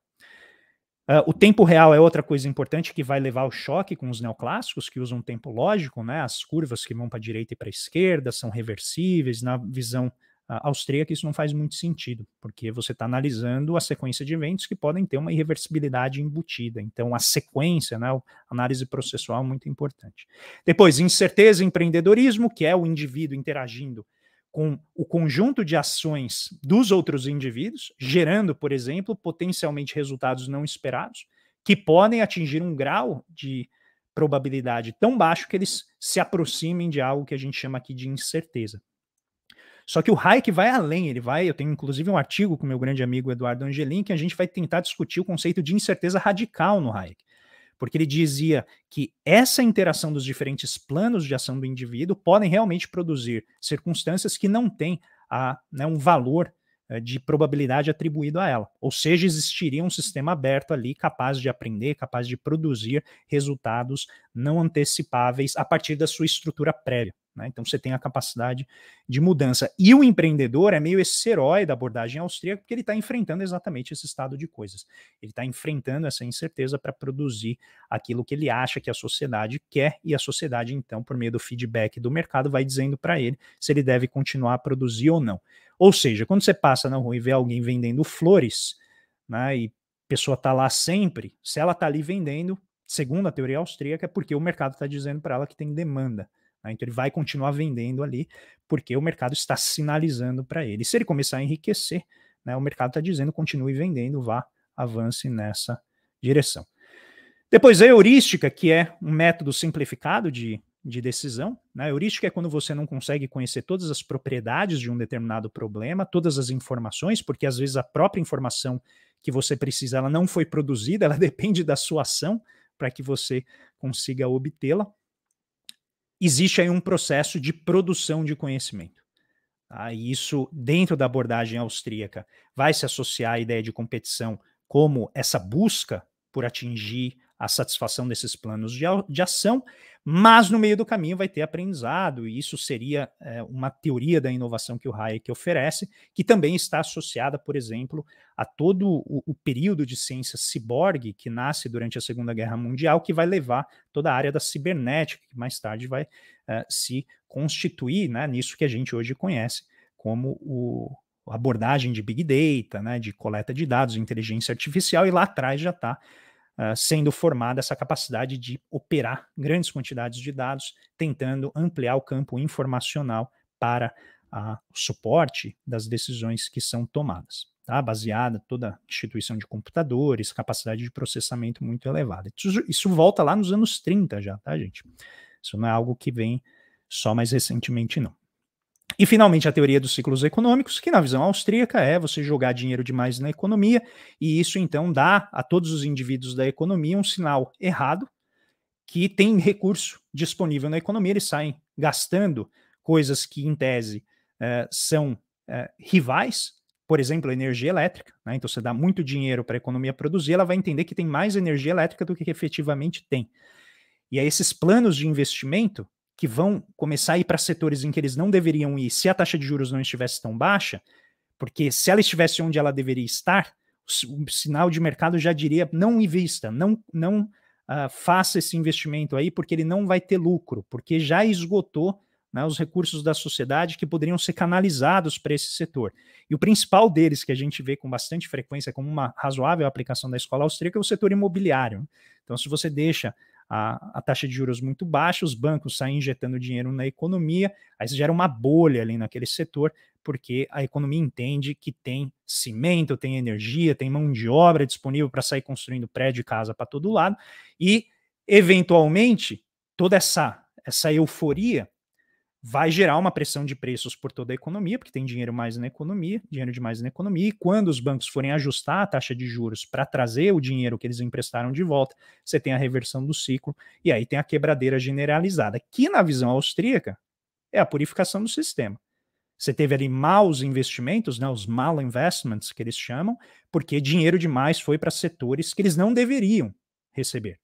E agora você tem que purificar as empresas que foram criadas que não deveriam ter sido criadas, os investimentos foram criados que não deveriam ter sido criados, e é por isso que esse pessoal olha para a China e acha que ela vai quebrar pelo menos há cinco ou seis anos ou mais, né? Eles estão achando que semana que vem a China quebra. Porque a China, de fato, nos anos 2000 fez isso. Ela injetou dinheiro loucamente na economia e principalmente o setor imobiliário cresceu de maneira exponencial. Então, quem é da escola austríaca olha para isso e fala: vai quebrar, isso aqui tem que quebrar tem que quebrar para poder purificar o sistema e liberar o excesso de investimentos que aconteceu ali. Tá? E, finalmente, a ideia de desestatização da moeda, que o Hayek vai, vai propor em 1976, com o um livro de mesmo nome, né, Desestatização do Dinheiro, se eu não me engano foi como foi traduzida, e que, na minha visão, vai trazer essa ideia uh, que vai ser, vamos dizer assim, eu vou chamar de sequestrada por falta de um nome melhor, pelo movimento cypherpunk, que vai utilizar isso na definição lá até na culminância do Satoshi Nakamoto com a criação do Bitcoin, que é des desestatizar o dinheiro por conta exatamente desta uh, desconfiança Rothbardiana, né, do Rothbard, do, do Murray Rothbard, com relação ao Estado. tá? Usando aqui o Rothbard porque ele é um grande é, guru desse pessoal. Então, notem que o próprio paradigma austríaco, colocado aqui entre aspas, que é como os, os defensores da escola gostam de dizer, né, para aumentar o status da escola, ele vai se expandindo ao longo do tempo. Tá? Então, desde o Mises, o processo empreendedor dinâmico, competitivo, Hayek, com a capacidade epistêmica dos mercados de produzir efetivamente conhecimento, até condições institucionais que vão dar propriedade privada, liberdade de contratos, novamente as trocas voluntárias, e o governo limitado, ou seja, o governo que não vai interferir na minha liberdade de escolha para que eu possa atingir os meus planos uh, autointeressados. Então, o sistema de mercado vai aparecer como uma ordem complexa que produz inteligência coletiva, mas notem, não é uma inteligência produzida no coletivo. Ela é resultante coletiva mas ela é produzida individualmente a partir deste conhecimento disperso. E quem acompanha os meus reacts vê frequentemente uh, os alvos dos reacts falando: não, o conhecimento está disperso na sociedade, então vamos produzir aqui uh, juntos, né, no meu canal, essa, esse conhecimento. Eles sempre usam isso. E isso tem exatamente apoio na abordagem austríaca e está fortemente associado àquilo que é fundamental no neoliberalismo, que é o mercado de ideias, the marketplace of ideas, que vai questionar todas as instituições produtoras de conhecimento, aquelas típicas instituições disciplinares do século XIX e anteriores, as universidades, as escolas, e vão criar mecanismos alternativos de produção do conhecimento, como os think tanks, né, esses grupos e seminários que vão pululando dentro dos uh, daqueles que defendem a, o ocaso ou a decadência dos experts que vão, no contexto do pós-guerra, ser clientes do governo, do, do Estado. Então, essa teoria vai emergir para contornar, teoria não, desculpa, o movimento do neoliberalismo, né, do, que vem uh, com a sociedade Montpellier e afins, vai contornar a produção de conhecimento que se tornou convencionalmente produzida dentro dessas instituições já convencionais, como universidades, institutos de pesquisa e o governo. Depois, para finalizar aqui, algumas diferenciações. A escola austríaca, ela é bastante diferente da abordagem neoclássica. Tá? É um equívoco profundo associar os austríacos aos neoclássicos, muito embora a abordagem neoclássica tenha absorvido alguns aspectos da abordagem austríaca, principalmente por meio do Lionel Robbins, que é um professor metodólogo da London School of Economics, que é um grande, era né, um grande entusiasta entusiasta da abordagem austríaca, levou o Hayek para dar aula na Inglaterra e para rivalizar com Keynes nos anos 30. Então ele inclusive faz um pouco dessa acomodação, desta naturalização do conhecimento do, da teoria austríaca dentro do mainstream neoclássico, que é a corrente central da economia. Mas a escola austríaca é uma escola heterodoxa. Tá? E quais são as diferenças? No mainstream, tem o comportamento otimizador do homem econômico, do Homo economicus, e aqui, novamente, fica su outra sugestão de livro da professora Leda Paulani, Modernidade e Discurso Econômico, vale muito a pena. Quem quiser ler uma discussão profundíssima das tensões que existem no individualismo metodológico, na oposição ou na disputa, se a gente puder chamar assim, talvez seja mais rigoroso, entre a abordagem neoclássica e a abordagem austríaca, e como que o Hayek né, vai tentando uh, lidar com as tensões internas ao pensamento dele e formulando uma retórica muito potente de persuasão, que é a questão do, do discurso econômico. Então, para os austríacos, é o, o homo agens, né? Então, é a ação proposital, não é necessariamente otimizadora, pode ser, mas é apenas um caso especial da ação humana. A concorrência perfeita e imperfeita no abordagem neoclássica, né? E para os austríacos, a concorrência é um processo de descoberta, ela é literalmente dinâmica e uh, não necessariamente precisa se deter em estruturas de concorrência. Inclusive, vai ter aí grande disputa sobre uh, qual é a, a, interpretação de monopólios, por exemplo, eles são ruins, não são, isso vai também ocorrer uh, dentro do contexto da escola, alguns debates nesse sentido. Depois, o equilíbrio geral na abordagem neoclássica e na escola austríaca, os mercados são processadores de informação e processadores de conhecimento. São mecanismos epistêmicos. E grande parte da controvérsia sobre o cálculo socialista tem a ver é, com a crítica dos austríacos à própria abordagem de equilíbrio geral, que é derivada dos escritos do Valha, né, que é o outro autor lá da Revolução Marginalista que a gente viu no início. Tá? Então, é uma crítica bem profunda e eles vão rejeitar o paradigma neoclássico exatamente porque ele servia para a União Soviética e, e era um, um modelo bastante utilizado pelos teóricos que estavam defendendo o chamado socialismo de mercado, né, que o Oscar Lange já formulou lá nos anos 30 nos debates com o Hayek. Tá? Então, esse conceito né, que o Elias Jabur frequentemente utiliza, ele já foi pensado até antes, né? e o Oscar Lange é um dos que vai utilizar neste debate. Depois, o planejamento social positivista, que seria o racionalismo construtivista da política pública na abordagem neoclássica, que até certas uh, derivações, a chamada economia comportamental, vai ter o, o paternalismo, né, o paternalismo, agora me fugiu o nome, mas é a ideia de você ter uma política pública que direciona a ação dos indivíduos. Chega até paternalismo libertário. Né? Então, a ideia de você corrigir determinados vieses do comportamento humano que aumentam o bem-estar para ele, mesmo que ele não saiba né, que ele está sofrendo esse redirecionamento da intencionalidade dele. Tá? Essa é a abordagem é, do Richard Thaler, né, que a gente já falou bastante aqui em, em, em vídeos, em outras ocasiões, que é a economia comportamental. Tá?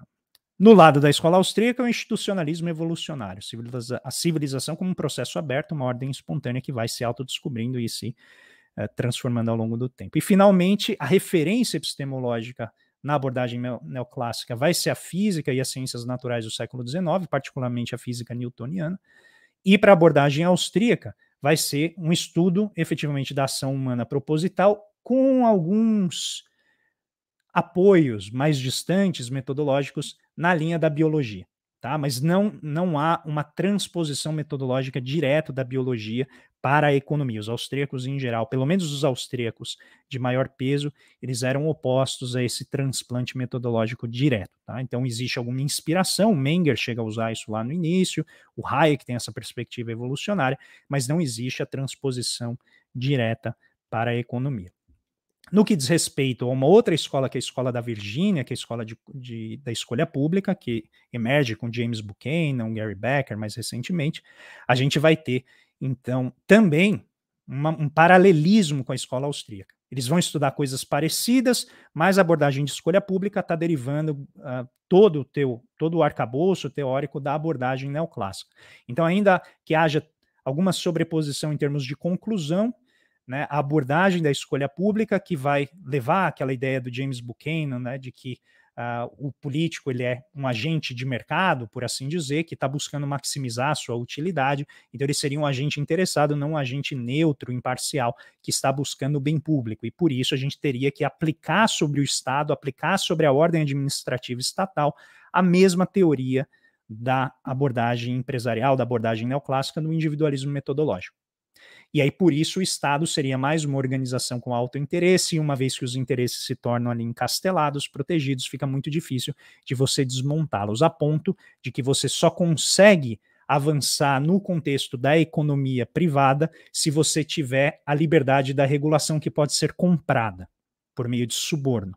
E aqui entra o que está aqui no slide, o paradoxo de Tullock, porque o custo de subornar um político, de subornar um burocrata, é muito menor do que o efeito, em termos de recursos, que vai ter a liberação daquele recurso. Então é como se você precisa liberar, como empresário, você quer uh, um, um, recurso de 5 milhões, você não precisa dar 5 milhões para o burocrata, ele aceita um valor que é uma fração disso para liberar 5 milhões. Então é um paradoxo, porque o custo do suborno, o custo de comprar aquela renda, de adquirir um acesso privilegiado à, vamos dizer, benevolência do Estado, uma benevolência seletiva, ele é muito menor do que o custo integral para a sociedade, que é a liberação daquele recurso para uma atividade que, na visão dessa escola, não seria a melhor alocação dos recursos. Então, estão todos aqui os nomes né, dos autores, depois para quem tiver interesse e procurar, mas ela informa bastante a visão né, de, de, economistas hoje de cunho liberal, como Samuel Pessoa, o Marcos Lisboa, eles citam né, claramente esses autores da, da, da abordagem de escolha pública, uh, dentro para formar a sua visão de Brasil, então eles estão muito presentes no debate. Em termos da escola de Chicago, a escola de Chicago é, na verdade, aquela que promove talvez a maior conciliação entre a abordagem neoclássica e a abordagem neoliberal. Então, frequentemente nas interpretações sobre neoliberalismo, se atribui a vertente econômica do neoliberalismo à escola neoclássica. Só que isso, na verdade, é, não é apenas uma imprecisão, ela é uma contradição em vários termos, porque a escola neoclássica é uma forte defensora de políticas públicas, é, principalmente políticas compensatórias, que muitas vezes o neoliberalismo só vai defender no seu na sua ramificação progressista, que eles chamam, que é o neoliberalismo com compaixão, é um neoliberalismo que aceita um pouco é, essas políticas compensatórias. Então não é absolutamente rigoroso né, fazer a equivalência de neoliberalismo com a abordagem neoclássica, como alguns autores fazem, dentre eles uh, o David Harvey faz isso com bastante profundidade, e o que eu estou oferecendo aqui para vocês é uma leitura alternativa.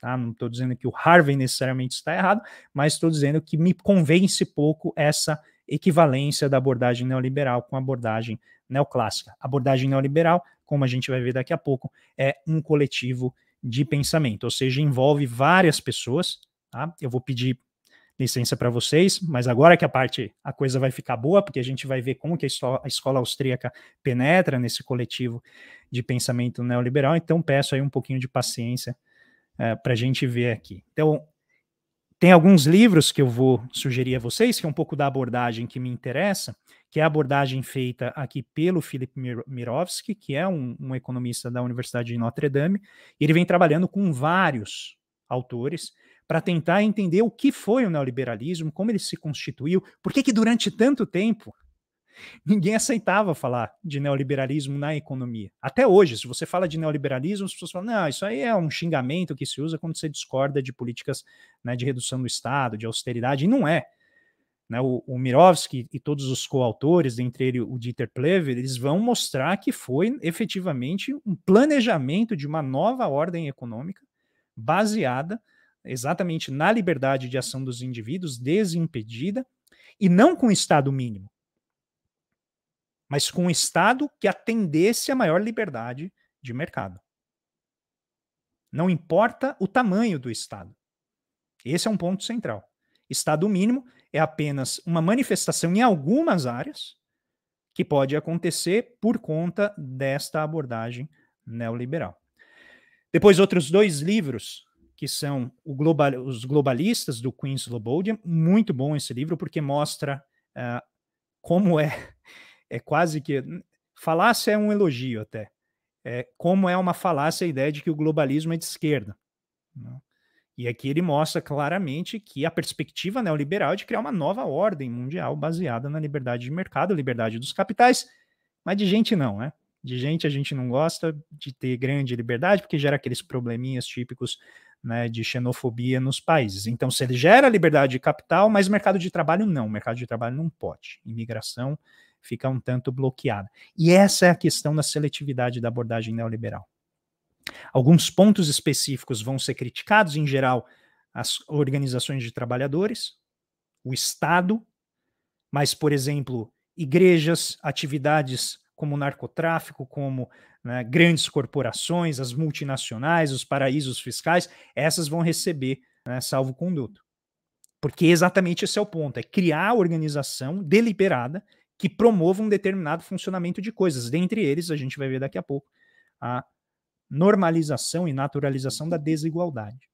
Então, aqui o livro Globalistas do Queen Slobod é muito bom, e esse aqui, o fator Nobel uh, do Offer e Soderbergh, que mostra como que a, o Prêmio Nobel de Economia, que é, na verdade, um, um prêmio fake, porque o Instituto Nobel jamais produziu esse Nobel.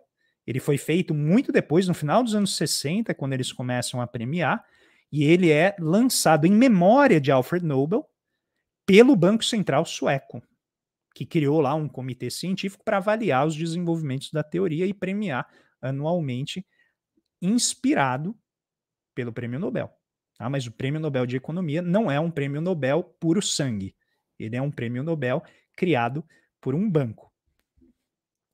Bom, aqui tem um esqueminha muito interessante uh, que está nesse artigo do Jens Beckert, que vai discutir os três pilares do neoliberalismo a partir uh, de um estudo muito legal uh, do Madariaga, que está aqui também, eu deixei o link para vocês, que é a interação entre três dimensões: ideias, interesses e instituições, que vão ter aspectos de conexão entre elas, que vão entre interesses e ideias, as preferências políticas. Então, as ideias, por assim dizer, vão direcionar, por exemplo, como empresários, como corporações, como políticos devem pensar a economia. E a partir disso organizar os interesses.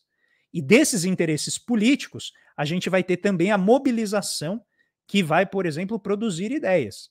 E a ideia que vai mobilizar pessoas. Daí a importância uh, de fazer a crítica marxiana no conceito de ideologia, que é entender qual que é a conexão entre determinada teoria, o que ela defende, e os interesses que ela beneficia, quer o pesquisador saiba ou não. Ele está necessariamente num contexto de uma política, de uma ciência que tem um caráter distributivo, como é a economia, inevitavelmente, ele sabendo ou não, ele está atendendo algum interesse. Então, a ideologia, né, no conceito marxiano, tenta justamente né, evidenciar qual é a materialidade que produz determinado conjunto argumentativo, determinado conjunto teórico. E, finalmente, a gente vai ter a interação das instituições, que são a transformação concreta da realidade. São as regras do jogo, são os tributos, são as leis, é tudo aquilo que vai direcionar o uso do produto social, a maneira como a gente mobiliza a nossa economia. Então, pegando esse primeiro ponto aqui das ideias, que é o que a gente tratou nesse tempo aqui com a escola austríaca, o coletivo de pensamento neoliberal tem todo esse conjunto de determinações e interações, pessoal. Então tem desde neoconservadores, o supply side economics, né, a ortodoxia econômica, economia do lado da oferta, a escola de escolha pública que eu mostrei para vocês, a abordagem monetarista da escola de Chicago, o objetivismo da Ayn Rand, né, que ainda hoje é uma grande, uh, uma teórica muito citada pelo, pelo pessoal neoliberal, o darwinismo social, né, e a chamada sociobiologia, que também vai ser muito importante, vai ser rejeitado sistematicamente pelos austríacos, tá? Mas é, vai fazer parte também desse coletivo, vai ter ali darwinistas sociais. Quer eles saibam, quer não, né? Porque a gente vê a partir do pensamento que é exposto nessas reuniões, nas diferentes coletâneas que vão avaliando as reuniões da Sociedade Montpellier, que a gente vai ver daqui a pouco. E o ordoliberalismo, que é a vertente uh, liberal alemã, que na verdade vai defender a chamada economia social de mercado, em que o Estado tem o papel de produzir a concorrência, por exemplo, evitando a ação dos trustes, dos monopólios. E isso ao longo do tempo, ao longo das décadas, quando esse pessoal todo se reunir, vai começar a gerar fraturas e discordâncias no seio né, da, daquele, desse coletivo e vai levar à formação de posições diferentes, dentre elas, principalmente, a do Milton Friedman, que já nos anos 60 e 70 vai começar a naturalizar os monopólios, dizendo que, na verdade, eles não são um grande problema. E os ordoliberais acabam, então, ficando meio escanteados nessa discussão, porque eles tinham né, uma defesa muito mais clara e saliente do papel do Estado na economia. Então, vamos lá aos 13 traços né, do coletivo de pensamento neoliberal. Então, primeiro, economia de mercado, que vai ser fundamental para a organização da sociedade, só que diferente da abordagem clássica, liberal clássica, que a gente ainda vê as pessoas defendendo hoje, elas, a economia de mercado precisa ser construída, ela precisa ser produzida por meio de ação política, por meio do direcionamento das instituições. Então, é um ato deliberado. Depois, os neoliberais eles vão ser bastante vagos no que diz respeito à estrutura, por exemplo, de concorrência do mercado, e a natureza do mercado. Então, aquela coisa de passar pano quente em discordância para ficar naquilo que há de comum entre todos ali. O que é mais importante é o que o mercado faz, que é produzir informação. A única unidade é a defesa do mercado. Depois, a sociedade de mercado neoliberal deve ser tratada como uma ordem natural, daí a ideia da naturalização, irrecorrível para toda a humanidade. Então, é um instrumento de disciplina da ação humana que ela tem se aproxima da naturalidade de uma força da natureza. E a evolução científica vai ser efetivamente o caminho pelo qual o mercado vai desenvolvendo seus atributos. A intenção da agenda, dessa agenda neoliberal, vai ser, portanto, redefinir as formas e funções do Estado para atender a esses postulados anteriores para libertar o mercado de todas as suas indisposições, de todas as suas restrições, tudo aquilo que inviabilizar a ação disciplinatória e descobridora, né, epistêmica do mercado. Então não se trata de destruir. O Estado mínimo pode se manifestar em determinadas ações em que você vê o encurtamento de financiamento e tal, em, por exemplo, em privatização, você pode ter ali instâncias de Estado mínimo, mas o coletivo neoliberal não tem esse ímpeto. Pode ser que o Estado mínimo seja o melhor Estado para o mercado, mas isso não é garantido porque depende das realidades de cada país. Mas a ideia é garantir um Estado que produz restrições apenas para aqueles que querem impedir o mercado de funcionar. Depois, o mascaramento, da da, o mascaramento com a promoção de uma legitimidade da natureza coercitiva da versão neoliberal. Então, eles vão tentar meio que uh, dizer assim: não, não, o Estado neoliberal não é um Estado coercitivo, tá? porque ele está produzindo um instrumento de geração de conhecimento, de riqueza, que é o mercado. O problema é que a gente vê, a partir da consolidação, mas não apenas, isso não é um processo que começa com o neoliberalismo, mas certamente é agravado por ele, que é a expansão desenfreada do encarceramento, porque as reações às políticas neoliberais são aquelas de esmagamento da atividade do trabalhador, de esmagamento dos lucros dos pequenos empresários, de esmagamento e compressão do espaço de atividade pessoal, econômica, material. Isso vai gerando pela desigualdade uma série de, de convulsões sociais que são uh, muitas vezes difusas na sociedade e são lidadas de maneira violenta por meio do Estado. Mas tem várias outras formas de coerção uh, desse Estado que vão se manifestar e a gente pode conversar depois, se der tempinho aí na, no nosso bate-papo. Continuando. Depois, redefine-se então o conceito de pessoa humana. Então, o capital humano aqui passa a ser parte mais importante da vida das pessoas, e a ênfase naquilo que nós entendemos por liberdade pessoal vai ser na gestão, no investimento em si mesmo, né, focado para o mercado de trabalho, focado para o empreendedorismo. Né? Então, a referência ontológica, a referência de sucesso e validação da sua trajetória está muito associada com se você é um fazedor, né? um maker, é alguém que está lá produzindo, gerando lucro, garantindo a saciedade de necessidades das pessoas, o empreendedor de si mesmo. Sete, não tem mais classes sociais. Porque todos os indivíduos são empregadores e trabalhadores, as corporações são pessoas legais, né, são pessoas jurídicas. Então, a propriedade, ela não vai ser em si tratada como sacrossanta, é quase. Ela é quase sacrossanta, mas ela pode estar sujeita a objetivos políticos, na medida em que, por exemplo, o próprio Estado né, possa atuar, por exemplo, uh, uh, despejando ou deslocando, desocupando determinados imóveis, por exemplo, que pessoas pobres estão ocupando num espaço da cidade, impedindo que o mercado produza, por exemplo, grandes arranha-céus ou condomínios de luxo ali. Definição de liberdade vai ser recodificada e fortemente editada. Então, vai ser diferente das abordagens anteriores. Ela vai continuar sendo essencialmente negativa, né, como a, a ausência de impedimento, mas a liberdade econômica vai ser dominante e essencialmente vai ser a liberdade de mercado. E ela é absolutamente indiscutível, por ela vale a pena fazer tudo até ter governos ditatoriais. Isso é uma frase do Hayek, na, analisando a experiência chilena, dizendo que eventualmente há situações em que apenas um governo ditatorial autoritário pode garantir a liberdade econômica, garantir, por exemplo, a liberdade, a propriedade privada, que permite a atuação no mercado. Tá? Então, a liberdade ela não vai se estender à rejeição dos princípios neoliberais. Se você tentar reagir a este tipo de liberdade oferecida pela, pelo neoliberalismo, a força do fato social durkheimiano vai cair com tudo em cima de você por meio do aparato policial, do aparato social, das grandes corporações ou de quem tiver o poder político ali naquela situação. E a gente vê isso uh, de maneira bastante frequente na história do neoliberalismo. Depois, o capital tem o direito natural, natural, a fluir livremente através das fronteiras nacionais, mas o trabalho não. O trabalho não tem esse direito.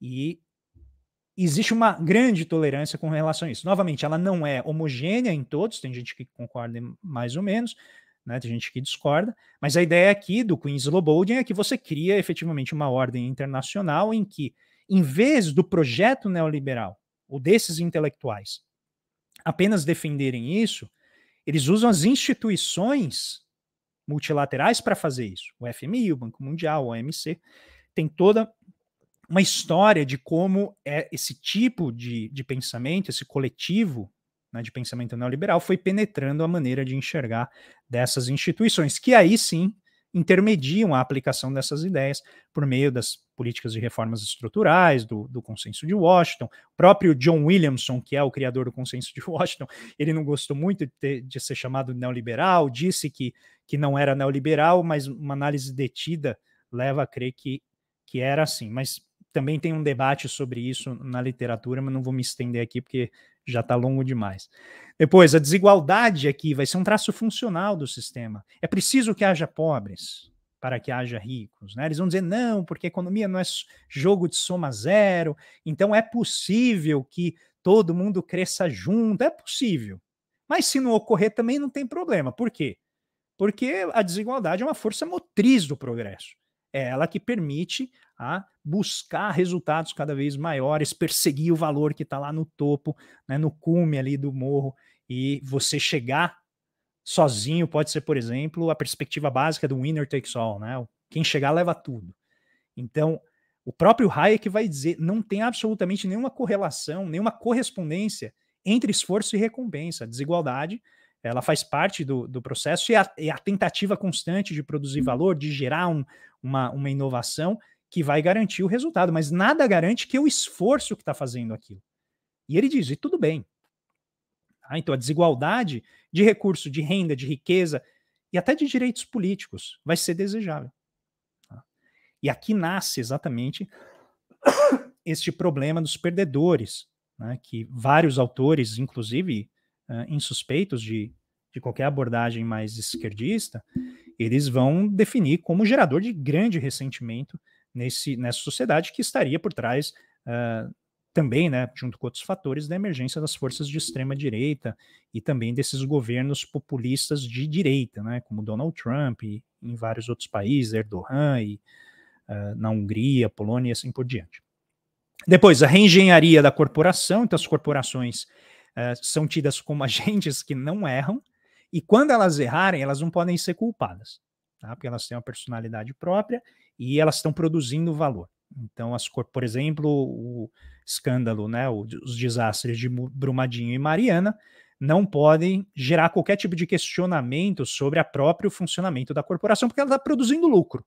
E produzir lucro é a responsabilidade social dela, segundo Milton Friedman no artigo na década de 70. A responsabilidade social das empresas é perseguir o lucro máximo né, e dar o lucro para os seus acionistas. Então não tem nenhum problema a Petrobras produzir uh, essa inflação dos combustíveis a partir da política de paridade de importação, porque ela está fazendo aquilo que ela tem que fazer, que é maximizar a riqueza do acionista, mesmo que né, o, o, efeito disso seja onerar a sociedade inteira, tem que funcionar como uma empresa, né? Vocês vão ver esse discurso sistematicamente nas grandes eh, emissoras de televisão. Depois, quando os mercados falharem, dobre a aposta. Quando tiver uma falha de mercado, vocês sabem qual é a melhor coisa a se fazer? Criar novos mercados usar a tecnologia de mercados para resolver problemas que os próprios mercados criaram. Então, sempre mais mercado é melhor do que menos mercado, porque quanto mais o mercado atuar, mais informações você vai ter e melhor vai ser a resolução. Tá? Finalmente, as teorias políticas, econômicas, elas vão ter um código moral quase que embutido ali, e esse código moral ele vai ser muito importante, é, porque ele vai de certa forma, legitimar e garantir, por exemplo, a ideia de que não tem alternativa. Né? There is no alternative, a frase da Margaret Thatcher, né? Tina, né? There is no alternative. E aqui o que, que a gente vê? Que no contexto da pandemia, o que, que aconteceu? O lucro foi reabilitado novamente como uma forma de produzir inovação.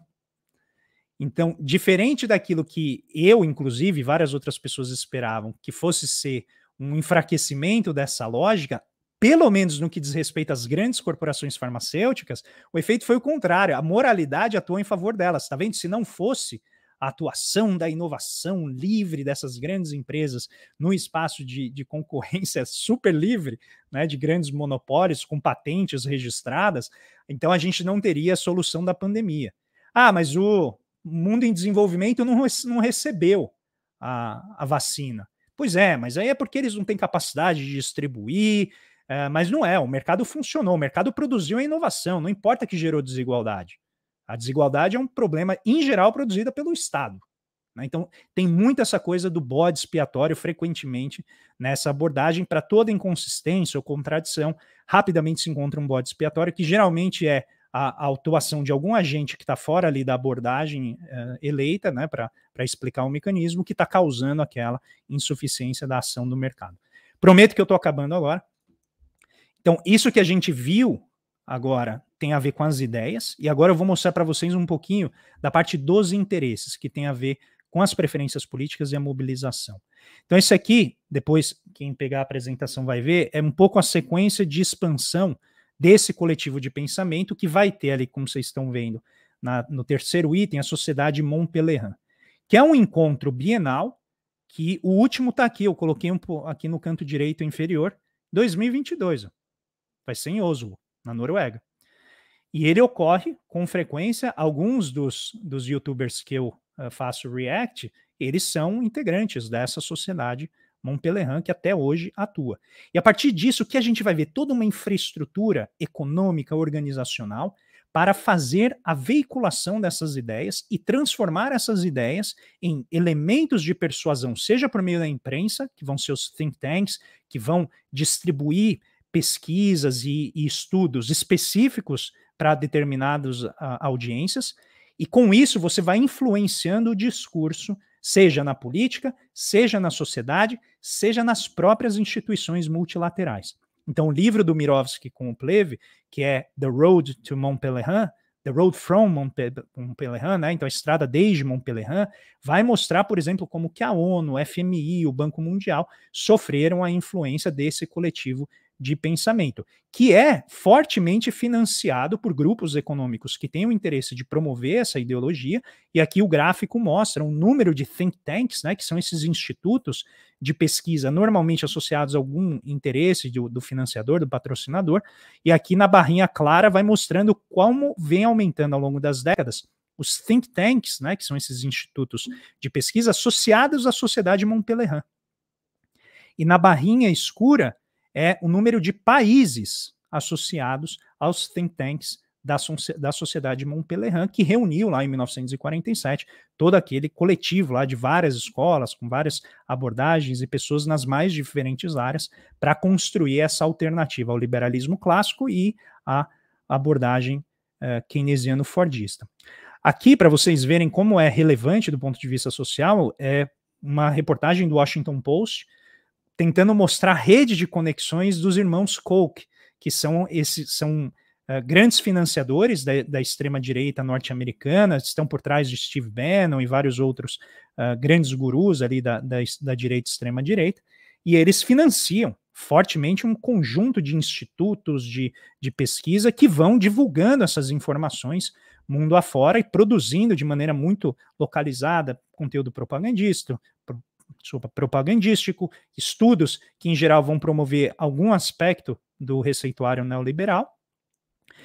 E vão se manifestar aqui, eu trouxe alguns exemplos, né? o Institute of Economic Affairs, o American Enterprise Institute, a Heritage Foundation, que produz aquele índice que os liberais adoram usar, né, que é um índice de liberdade econômica, que tem uma série de problemas com ele e de mensuração. Né? Então, tem países que você seriam insuspeitos de liberdade econômica, que são próximos daquilo que eles chamam de ditaduras, e eles têm liberdade econômica maior do que, por exemplo, o Brasil, que em tese né, seria uma democracia na visão deles. E o Cato Institute, que começou como um instituto dos Koch brothers, que são esses irmãos Koch que financiam essas atividades. E aqui vocês veem no, na, na, presidência da Sociedade Montpellier as pessoas associadas a esses think tanks. Então, mostra essa relação bem íntima entre uh, o direcionamento das pesquisas e da atuação dessa sociedade Montpellier até hoje, eu peguei só os primeiros anos, né, e esses think tanks, que são grandes distribuidores né, de pesquisa dessa ideologia. Frequentemente, quem, e isso é, é um aspecto importante uh, do ensino em economia, as pessoas que vão fazer trabalhos né, de, sobre determinada disciplina, frequentemente, quando elas procuram, aparecem trabalhos desses institutos, porque eles têm um papel de reeducação. Eles querem literalmente substituir a forma como os institutos, as universidades, né, que são entendidas como grandes uh, promovedores do socialismo, de ideias à esquerda, que a gente vê no governo Bolsonaro com frequência, né, principalmente com os ministros da educação, que tem esse caráter bastante é, ativo em desmobilizar né, a ideologia que é ensinada nas, nas escolas e tal. Então vocês veem aqui, é, é, é o mesmo princípio. Tá? E aqui no Brasil, eu trouxe alguns uh, indicadores é, alguns think tanks que estão ligados a essas ideias, muito embora seja difícil dizer que todos eles representam a sociedade Montpellier integralmente, mas eles certamente estão alinhados a esse pensamento. Eu deixei até o link aqui depois para vocês verem, né? O Instituto Milênio, depois vocês vão ver que então ali são frequentemente pessoas que estão na imprensa falando em nome da profissão do economista, né? Falando sobre economia, dando a sua interpretação dos eventos, e são ali é, figurinhas carimbadas na grande imprensa. O Instituto Mises Brasil, que é um fortíssimo produtor de conteúdo para a internet e que gera efetivamente uma influência grande na juventude, porque tem muitos textos né, sobre vários temas de interesse, inflação, economia, taxa de juros, com a perspectiva austríaca, fundamentalmente misesiana, né, a abordagem do Mises. Tá? Depois o Movimento Brasil Livre, que também uh, emana ali algum desses aspectos, mas não todos, né? Nenhum deles, não dá para a gente dizer que eles são homogêneos, tá, pessoal? Cada um pega ali a partezinha que está mais alinhada à, à, sua perspectiva de mundo. E finalmente o Brasil Paralelo. E notem que eu deixei aqui a, o link. Olha como eles se definem essa parte, ó, entretenimento e educação. Ou seja, é uma maneira de você divulgar as ideias, divulgar a visão de mundo de uma maneira em que que seja mais fácil a digestão dessa, dessas ideias, que é por meio do entretenimento. Né? Então, eles produzem filmes, seriados, sempre com todo aquele jogo performático da edição, trabalhando com as emoções, com música e tal, para poder né, diminuir as resistências e aumentar né, a aceitação daquelas ideias. E aí, finalmente, para terminar essa extensíssima aula, eu queria deixar alguns desafios a partir do problema das instituições né, com base nesse desenho dos interesses e ideias que estão por trás desse arranjo neoliberal, que era hegemônico até recentemente, mas que vem demonstrando sinais de esgotamento, uh, principalmente no que diz respeito à legitimidade e mobilização, mas que ainda tem várias políticas de direcionamento neoliberal sendo aplicadas mundo afora. E a pandemia, que tinha trazido essa esperança de superação do neoliberalismo, mostrou que políticas neoliberais persistem, muito embora haja uma transformação no entendimento das pessoas com relação à participação e importância do Estado, da coisa pública né, e da coordenação entre os diferentes agentes da economia. Uh, se essas mudanças vão ocorrer ou não, esse é o dever histórico que está em andamento. Mas o que eu queria colocar para vocês, então, são uh, quatro itens. Primeiro, desmantelamento das capacidades reguladoras, reguladoras e redistributivas do Estado-nação dificilmente vai ser reinstitucionalizado no nível transnacional, que é essa tentativa do Biden e do G20 de fazer a, a taxação né, de lucros de corporações que estão em offshores, né, que estão em empresas em paraísos fiscais, em outros lugares. A gente não sabe no que vai dar isso. Depois, dois desafios importantes: fortalecer a capacidade regulatória do Estado e garantir que as corporações cubram os custos, por exemplo, ambientais, sociais, que elas jogam para a sociedade absorver: poluição, emissões, desigualdade, né, baixa é, desemprego e assim por diante. Fazer isso vai ser difícil. Terceiro, a globalização e as mudanças tecnológicas elas vão na direção de intangibilizar a economia, ou seja, uma parte importante dos ativos das empresas não vai ser mais bens de capital corporificados, né? Tipo garrafa, mesa, computador, máquinas, vai ser o quê? Capital humano, capacidade de inteligência de produzir conhecimento, de fazer, por exemplo, inovações.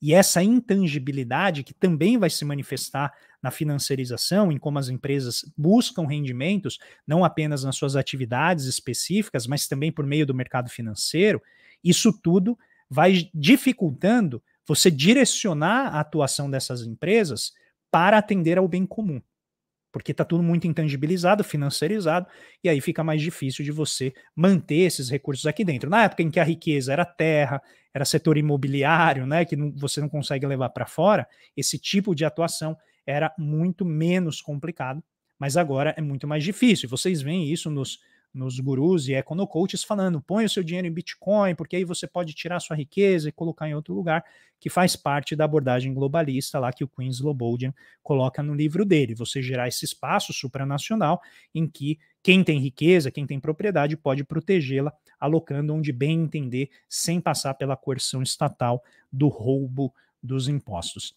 E finalmente eu deixo uma pergunta aqui para a gente poder bater um papo, né?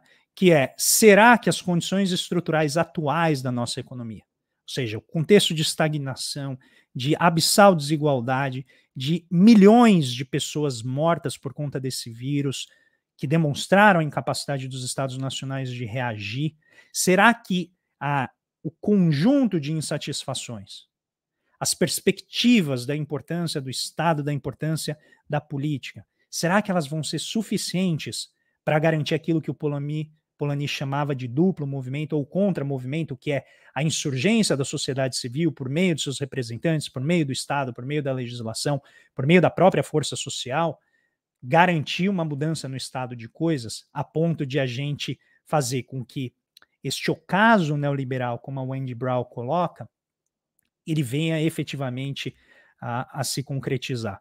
A Wendy Brown e a Nancy Fraser são duas eh, teóricas muito importantes nessa discussão. E aí, para finalizar, eu deixo aqui algumas referências para quem tiver interesse. Eu, eu destaquei alguns textos que eu acho muito bons, desde a Wendy Brown, né, Desfazendo a Democracia, a William Davis, Os Limites do Neoliberalismo, e aqui uh, o livro do Mirovski, que infelizmente só tem em inglês, Uh, mas é o tipo de livro que vale muito a pena porque ele, eles vão analisar com vários autores, especialistas em diferentes dimensões desse coletivo de pensamento neoliberal, por exemplo, as experiências nos Estados Unidos, na França, na Inglaterra, no Chile, no Peru, e como né, o neoliberalismo se manifestou e as diferentes instâncias que tornam esse tema um tema fluido, um tema difícil de enquadrar numa caixinha teórica, numa conceituação na estática, fixa. Ele vai mudando e ele tem uma altíssima flexibilidade conceitual. Uh, depois, esse texto também do Pleve, do Mirovski e do Slobodian, As Nove Vidas do Neoliberalismo, e um texto do meu grande amigo Fernando Rugitsky, professor da FEA USP, que ele fala sobre o declínio do neoliberalismo, que foi publicado na revista de Economia Política, do nosso querido professor Bresser Pereira, né, que é o editor da revista. E foi publicado agora em 2020. Ele faz uma reflexão para o Brasil a partir né, dos conceitos de neoliberalismo e aquilo que foi é, discutido na literatura. E aqui eu deixei algumas referências para a história da escola austríaca. Grande parte dessas referências são o que a gente chama de histórias internas então, são pessoas da própria escola que estão falando sobre né, a, a, experiência e desenvolvimento da escola austríaca, mas como eles dialogam muito com os críticos, então ali dentro vocês também encontram outra, uh, outras referências para, caso vocês queiram, né, análises mais críticas a partir dessas uh, colocações, essas leituras de história do pensamento econômico. E aí eu deixo aqui os meus contatos nas redes sociais e os livros aqui dos quais eu participei ou escrevi recentemente, para quem tiver interesse em conhecer um pouquinho mais do meu pensamento. Muito obrigado, Lute. Volte aqui, porque senão eu continuo falando. Agradeço demais a todo mundo que nos acompanhou e vamos lá. Se tiver perguntas, algum comentário para a gente bater um papo. Obrigadão.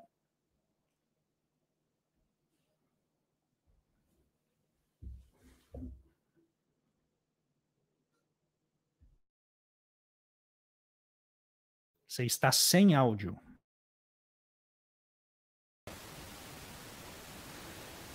Coisas da pandemia, né? Falar com áudio fechado, um clássico. Não poderia ser diferente.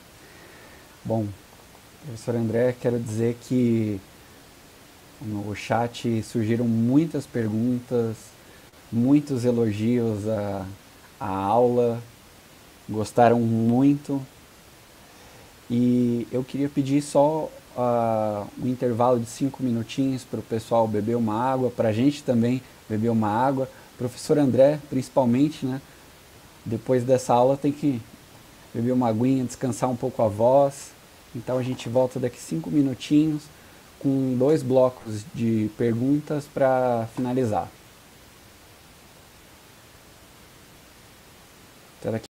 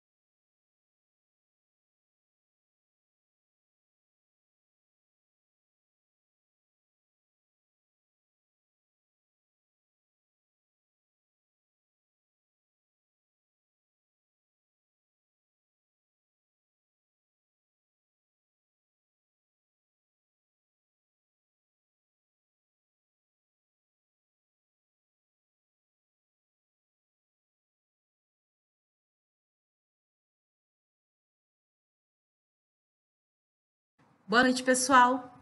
Vamos agora para um rápido intervalo. Enquanto isso, não se esqueçam de curtir o canal do PROEC Unifesp aqui no YouTube. Compartilhe os anúncios do curso do NELCA com seus colegas, familiares, amigos, companheiros e camaradas. Siga o NELCA nas redes sociais, no Facebook, no Instagram. A indicação das nossas redes estão aparecendo aí no chat para vocês. E nós divulgaremos toda a programação dos nossos cursos por lá, tá bom? Boa noite para todas, todes e todos. Boa aula!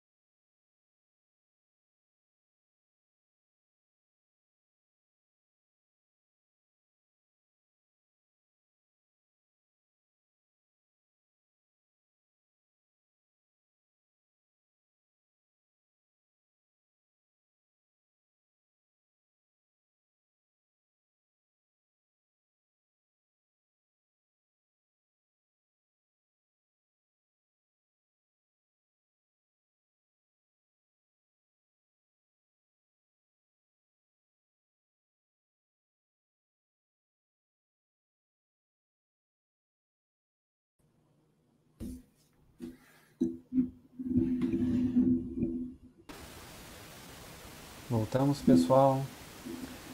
É... Primeiro bloco, vamos ao primeiro bloco de, de questões. É... O Gabriel Farias perguntou: Professor, gostaria de, de perguntar como esses autores e suas obras são recebidos no contexto brasileiro. São bem aceitos e assimilados?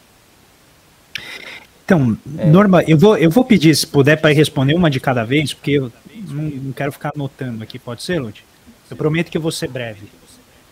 Tudo bem, mas eu posso mandar aqui no nosso chat interno. Não, vamos aqui, a gente faz um bate-bola aqui.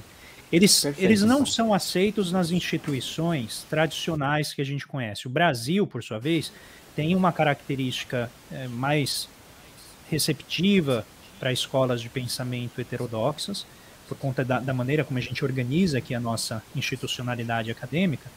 É, o Brasil é um dos principais focos de proliferação de abordagens heterodoxas em termos de participação em publicação fora, publicação em artigos internacionais, porque a CAPES ela usa um sistema diferenciado do internacional para fazer a, a pontuação né, de programas de pós-graduação. Então, você tem muito pós-keynesiano, tem bastante, uh, tem muito marxista aqui no Brasil em economia e, e outras abordagens, né, neo-ricardianas, uh, schumpeterianas, que têm uma presença grande. Agora, os austríacos, em geral, eles não têm uma participação grande, relevante na, na academia.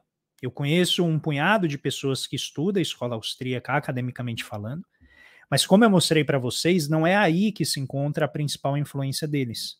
Eles são mais, entre aspas, aceitos direto por meio de think tanks, né, como esses que eu mostrei aí, né, Brasil para nem acho que o Brasil Paralelo nem é um think tank, na verdade, né, mas é certamente um promotor uh, dessas ideias, né, Instituto Millennium, e eles, o Instituto Millennium frequentemente tem estudos mostrados na grande imprensa, tá? Então eles fazem um caminho também parecido lá fora, em que a participação deles se dá indiretamente por meio desses órgãos de difusão dessa ordem uh, de conhecimento que eles produzem. Mas academicamente, nas instituições tradicionais, convencionais, em geral, a participação é pequena. E tem tudo a ver com o que a gente viu aqui, porque a ideia é exatamente questionar essa ordem de coisas herdada do paradigma de organização anterior, né, o Fordismo e Keynesianismo.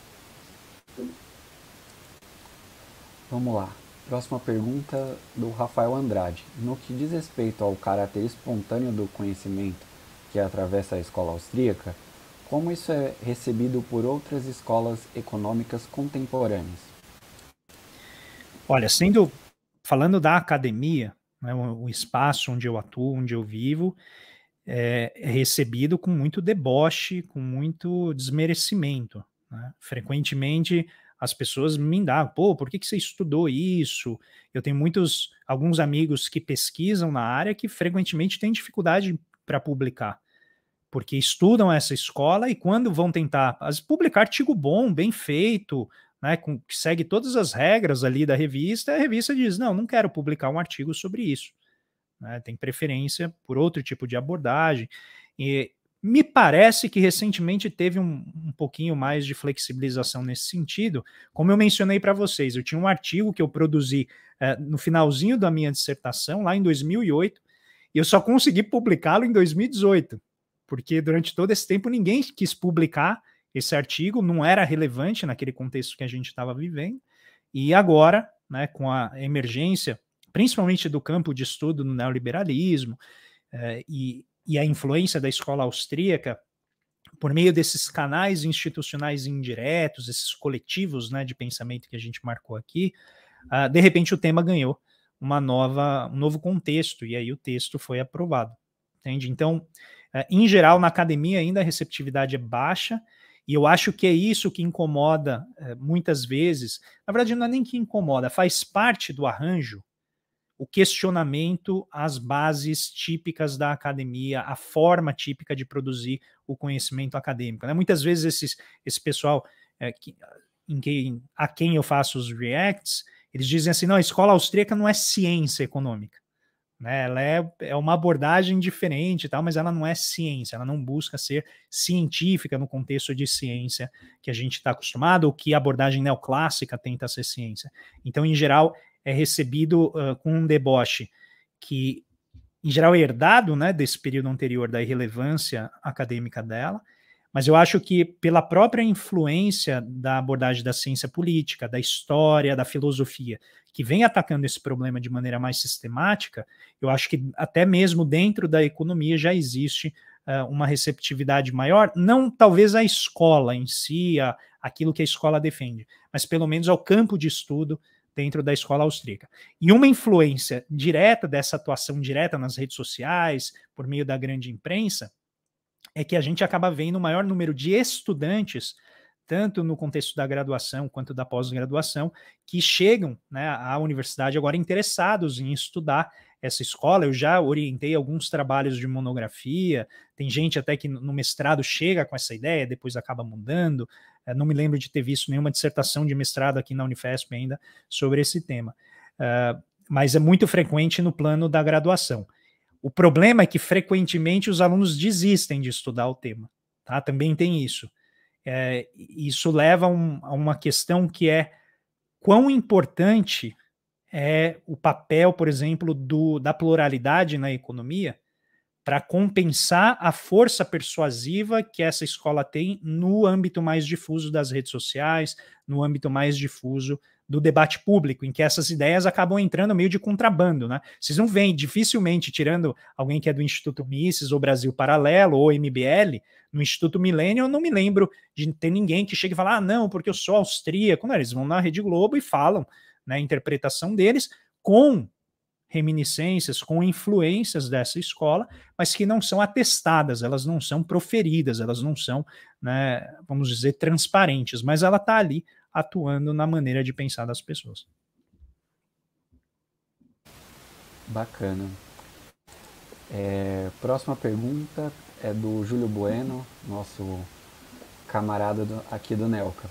Professor, a nomenclatura NEL pressupõe uma cisão ou uma nova roupagem de um movimento ou pensamento. No caso do neoliberalismo, quais as suas diferenças e pontos de contato com o liberalismo clássico?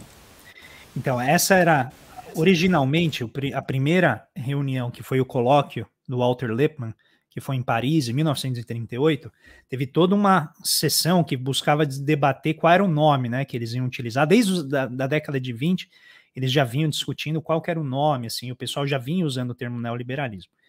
E o debate ali, até pelo menos a década de 50, depois com a sociedade Montpellier, era fazer uma ruptura com o liberalismo clássico. Era uma ruptura. Era literalmente questionar vários dos pressupostos do liberalismo clássico, dentre eles esta ideia do mercado, do Estado mínimo, e de direcionar, por meio de várias estratégias retóricas e discursivas, uma outra forma de combater a emergência do socialismo e do comunismo via planejamento uh, estatal, que era a experiência soviética.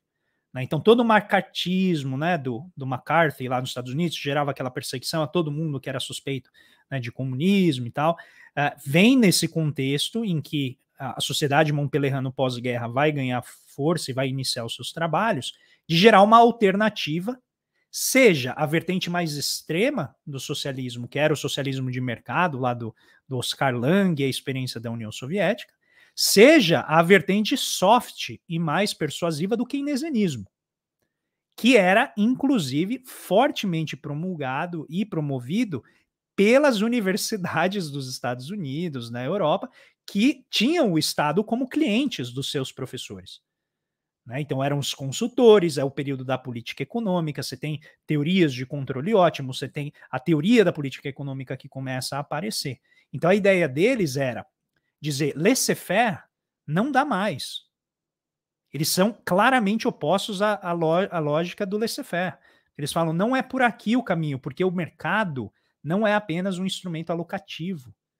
O mercado é para produzir conhecimento. E a partir desse questionamento, com essa lógica epistêmica diferenciada, a ideia é começar a literalmente penetrar a institucionalidade vigente, desde as escolas. Então, a ideia de você não ter mais ensino público, você dá o voucher para que a pessoa escolha dentro da lógica de mercado das escolas privadas, as instituições de pesquisa, que agora não recebem mais dinheiro do Estado dentro do neoliberalismo, mas recebem dinheiro dos seus patrões, né, dos seus uh, financiadores, que é o que eles faziam lá a partir da sociedade Montpellier, como eu mostrei para vocês. Uh, o próprio governo diminuir a participação do Estado em várias áreas, privatizar, garantir que o Estado seja apenas ali o, o protetor da propriedade privada, principalmente por, por meio do aparato policial, né? E aqui a, a ideia, a visão clara do Moise sendo espancado até a morte e uh, aquele, aquele empresário de sucesso que ganha 300 mil reais por mês aqui em Alphaville, peitando a polícia, a gente vê a diferença de tratamento que recebe a população pobre, a população trabalhadora e a que recebe né, o sujeito endinheirado. E esta é a ideia por trás. É, não, não que quem defende isso está defendendo exatamente esse tipo de coisa, mas a ideia é você diferencia os cidadãos. Quem tem direito de peitar a polícia é cidadão de bem, engenheiro, engenheiro civil formado, né? E quem é o sujeito que é um trabalhador, é, vamos dizer, ele é quase imaterial, porque ele é apenas mais uma mão de obra a serviço do sistema que está esmagando salário, uberizando e assim por diante. Ele é aquele trabalhador intercambiável, né? Substituível facilmente é, por meio de um salário baixo. E essa lógica da desigualdade, ela é fortemente presente. Ela não era lá no liberalismo clássico.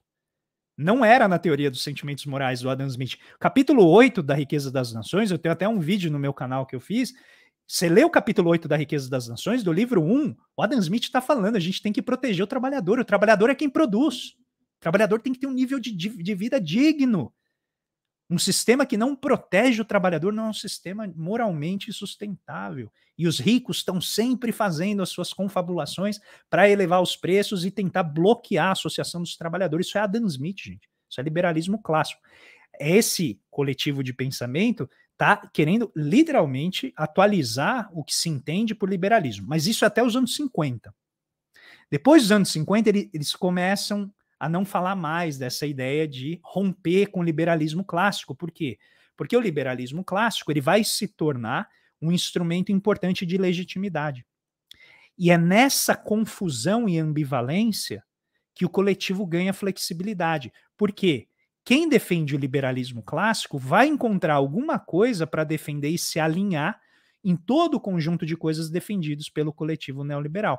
E isso, então, mobiliza, da mesma maneira que você tinha o keynesianismo fordista ao longo de três, quatro décadas, mobilizando pessoas que não concordavam com tudo, mas concordavam com os elementos básicos, né, de ter o Estado coordenando, investindo, atuando na, na economia. Ali é a mesma coisa. E essa é a razão do, de grande parte do sucesso deles. Maravilha, maravilha, professor André. Agora vamos para o segundo bloco, iniciando ele com uma pergunta da professora Rosângela Ferreira Leite. A mercadoria e os setores de serviço já estão bem pontuados em SEI e Bastiat. Quando começa a entrar em relevo a figura do consumidor no âmbito desse campo teórico? Eu acho que é desde o início já, assim, é, talvez a figura do consumidor moderno, né, como a gente está acostumado, seja fruto do, já dessa perspectiva uh, do coletivo neoliberal, em que a soberania do consumidor ah, se apresenta de maneira mais saliente. É que o, a gente tem que entender que a, as palavras, né, a terminologia vai mudando com o contexto cultural. Mas você já encontra aspectos disso no Jeremy Bentham, no próprio David Hume, no Adam Smith, né, só que não nesses termos que a gente está colocando aqui de individualismo metodológico no contexto de liberdades do consumidor ampliadas, né, confundidas muitas vezes com outras liberdades e até superiores em termos de hierarquia a outras uh, liberdades. Mas talvez essa é uma boa pergunta em termos arqueológicos, assim, entender quando que esse, esse termo começou a, a ser utilizado. Então eu vou falar a partir do que eu conheço, Tá? Pode ser que uh, não seja correto historiograficamente falando. Mas a minha impressão é que isso aparece com mais força com a Revolução Marginalista, né, a ideia uh, da lógica e maximização da, do excedente do consumidor, e ganha essa roupagem política e filosófica no contexto dos direitos a partir das discussões que vêm com esse coletivo de pensamento neoliberal, em que você vai uh, reduzindo todo o conjunto de direitos da sociedade apenas o direito de transacionar, seja consumir, seja vender né, o seu serviço, a sua força de trabalho.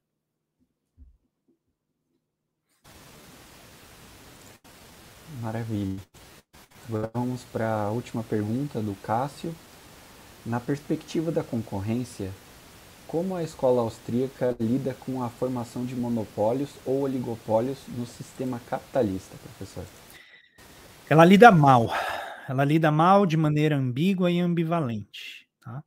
Quando eu digo que ela lida mal, não é porque não exista explicação, tá? mas ela lida mal porque não há uma abordagem homogênea. Então existe muita. Existe uma heterogeneidade nessas posições. Tá? Umas que são mais contrárias e vão entender que o monopólio é uma supressão da concorrência, Existem aquelas que são mais instrumentais, que vão Coasianamente, pelo teorema de Coase, dizer, não, vamos tentar então usar os mecanismos para que esse mercado, que é um monopólio, se torne concorrencial. Por exemplo, o caso da Petrobras aqui, né? Você tinha uma grande empresa eh, monopolista que verticalizava toda a sua produção, e aí o que, que você fez? Você foi quebrando, né, fragmentando a empresa e abrindo espaços de atuação do setor privado, que hoje agora gera esse problema né, que você tem atores privados atuando, e um monopolista ali na, na extração e no refino que está, de certa maneira, comandando a cadeia produtiva inteira, e, e aí isso gera né, uma série de interposições decisórias no contexto do setor. Então há certamente essas reações, e há reações que são normalizadoras. Né, que aí vão. A, o Hayek no início era, tinha alguma oposição, mas também se manifesta de maneira muito vaga, muito ambígua, que talvez é, aí precise estudar isso para ver se isso se encaixa com o contexto é, de agenda política que ele estava promovendo como grande líder né, e o grande inspirador da sociedade Montpellier, mas os conflitos que nascem no interior da sociedade Montpellier entre austríacos, os anarcocapitalistas, que causavam muito lá, uma parte importante dos intelectuais não gostava dos anarcocapitalistas, porque grande parte da sociedade Montpellier aceitava que tinha que ter o Estado atuando. A questão era qual seria o formato adequado do Estado. Os anarcocapitalistas causavam, né? Eles falavam, não, não tem que ter Estado nem nada. Isso gerava algumas reações que estão documentadas aí nos anais das reuniões. Os ordoliberais, que são essa linhagem uh, da Alemanha, particularmente, né, são intelectuais alemães, eles, na verdade, achavam que o Estado tinha que fazer política antitruste, impedir a formação de cartéis, de monopólios, e no contexto do que eles chamavam de economia social de mercado, essa função era imprescindível. E isso causou tanto choque dentro da sociedade Montpellier que eventualmente eles acabaram sendo mais marginalizados, muitos acabaram não sendo convidados de volta, não sei se chegaram a ser expulsos ou foram né, convidados a se retirar, eufemisticamente, uh, mas tem inclusive na, na Chicago Booth, que é a, a, uma escola né, de economia e negócios da Universidade de Chicago, no site deles, eles têm alguns estudos mostrando as rugas e diferenças entre a escola por exemplo, a ordem liberal, os diferentes pensadores e a posição sobre, por exemplo, o monopólio.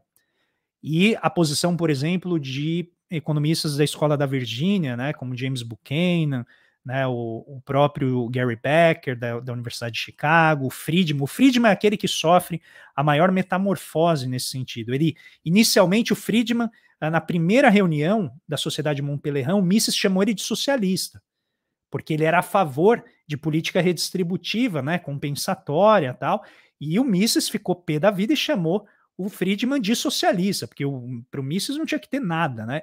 O Hayek sempre defendeu o imposto sobre herança, por exemplo.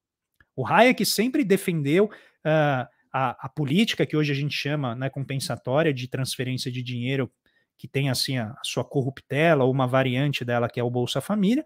O Hayek era favorável algum esquema de renda mínima.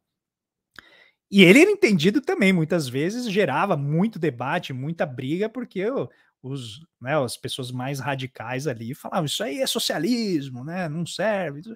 Mas o pessoal da escola ordo-liberal sempre foi contrário a não ter o Estado segurando os monopólios. E o Friedman, que inicialmente tinha uma postura mais recalcitrante com relação aos monopólios, vai transformando ao longo do caminho. Não se esqueçam, pessoal, que o Friedman ele foi um intelectual público. Ele, durante 18 anos, teve uma coluna na revista Newsweek em que ele promovia esse pensamento. Ele teve um programa de televisão que foi assistido por milhões de pessoas, tinha uma audiência altíssima para falar de economia na televisão. Até hoje tem, né, no, na, no YouTube vários trechos desse programa livre para escolher, né, Free to Choose, em que ele debate com pessoas das diferentes vertentes. Era um cara muito habilidoso no debate e criou toda uma escola, né, de lacração, uma escola de debate público que hoje o pessoal leva, né, com, com outra habilidade, com outros recursos, mas que está aí. Né, na, no ambiente do debate né, público, principalmente nas redes antissociais. Mas ele certamente tem uma mudança ao longo das décadas, em que ele começa a ficar assim: ah, não, monopólio não é tão ruim assim. Né? Mas pior do que o monopólio é tentar coibir o monopólio. Porque se tentar coibir, o Estado vai atrapalhar. E aí a gente chega nesse típico é, bode expiatório do neoliberalismo, que é sempre dizer que a solução é ter menos Estado. Colocar mais Estado dá sempre errado, colocar mais mercado pode dar resultado. Eu acho que o, o grande ilustração disso é o debate sobre os Correios, é o debate sobre a Eletrobras, sobre a Petrobras, em que não dá para pôr mais Estado, você tem que tirar o Estado. Né? Mesmo com empresas que estão dando lucro e tal, não, não, não, mas o setor privado vai fazer melhor, vai alocar melhor, vai gerar mais valor, tem que tirar o Estado. Isso é quase que uma, um axioma, né? uma verdade inabalável e, e, e primária assim, de toda a abordagem do coletivo de pensamento neoliberal.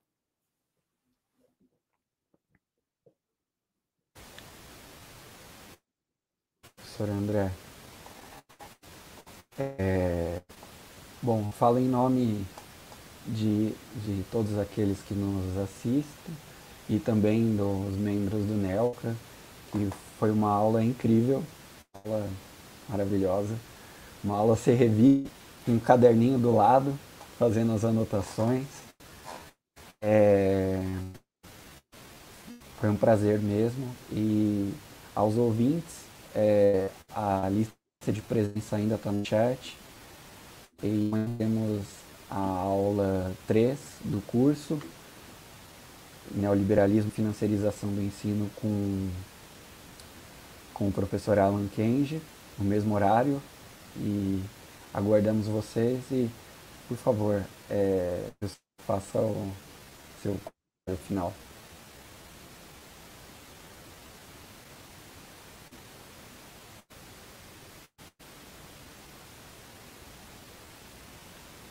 Professor André, o Oi? senhor quer se, se despedir? Ah, desculpa, é que cortou, eu não, não ouvi, perdão.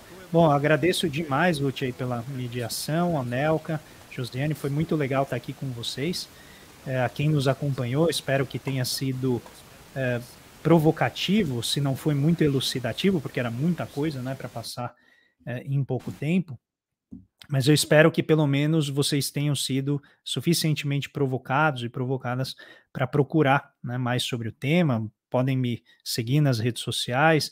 Quem tiver interesse em mais material, eu certamente passarei. Coloquei para vocês várias coisas. Depois eu acho que vai ficar disponível para vocês esse material.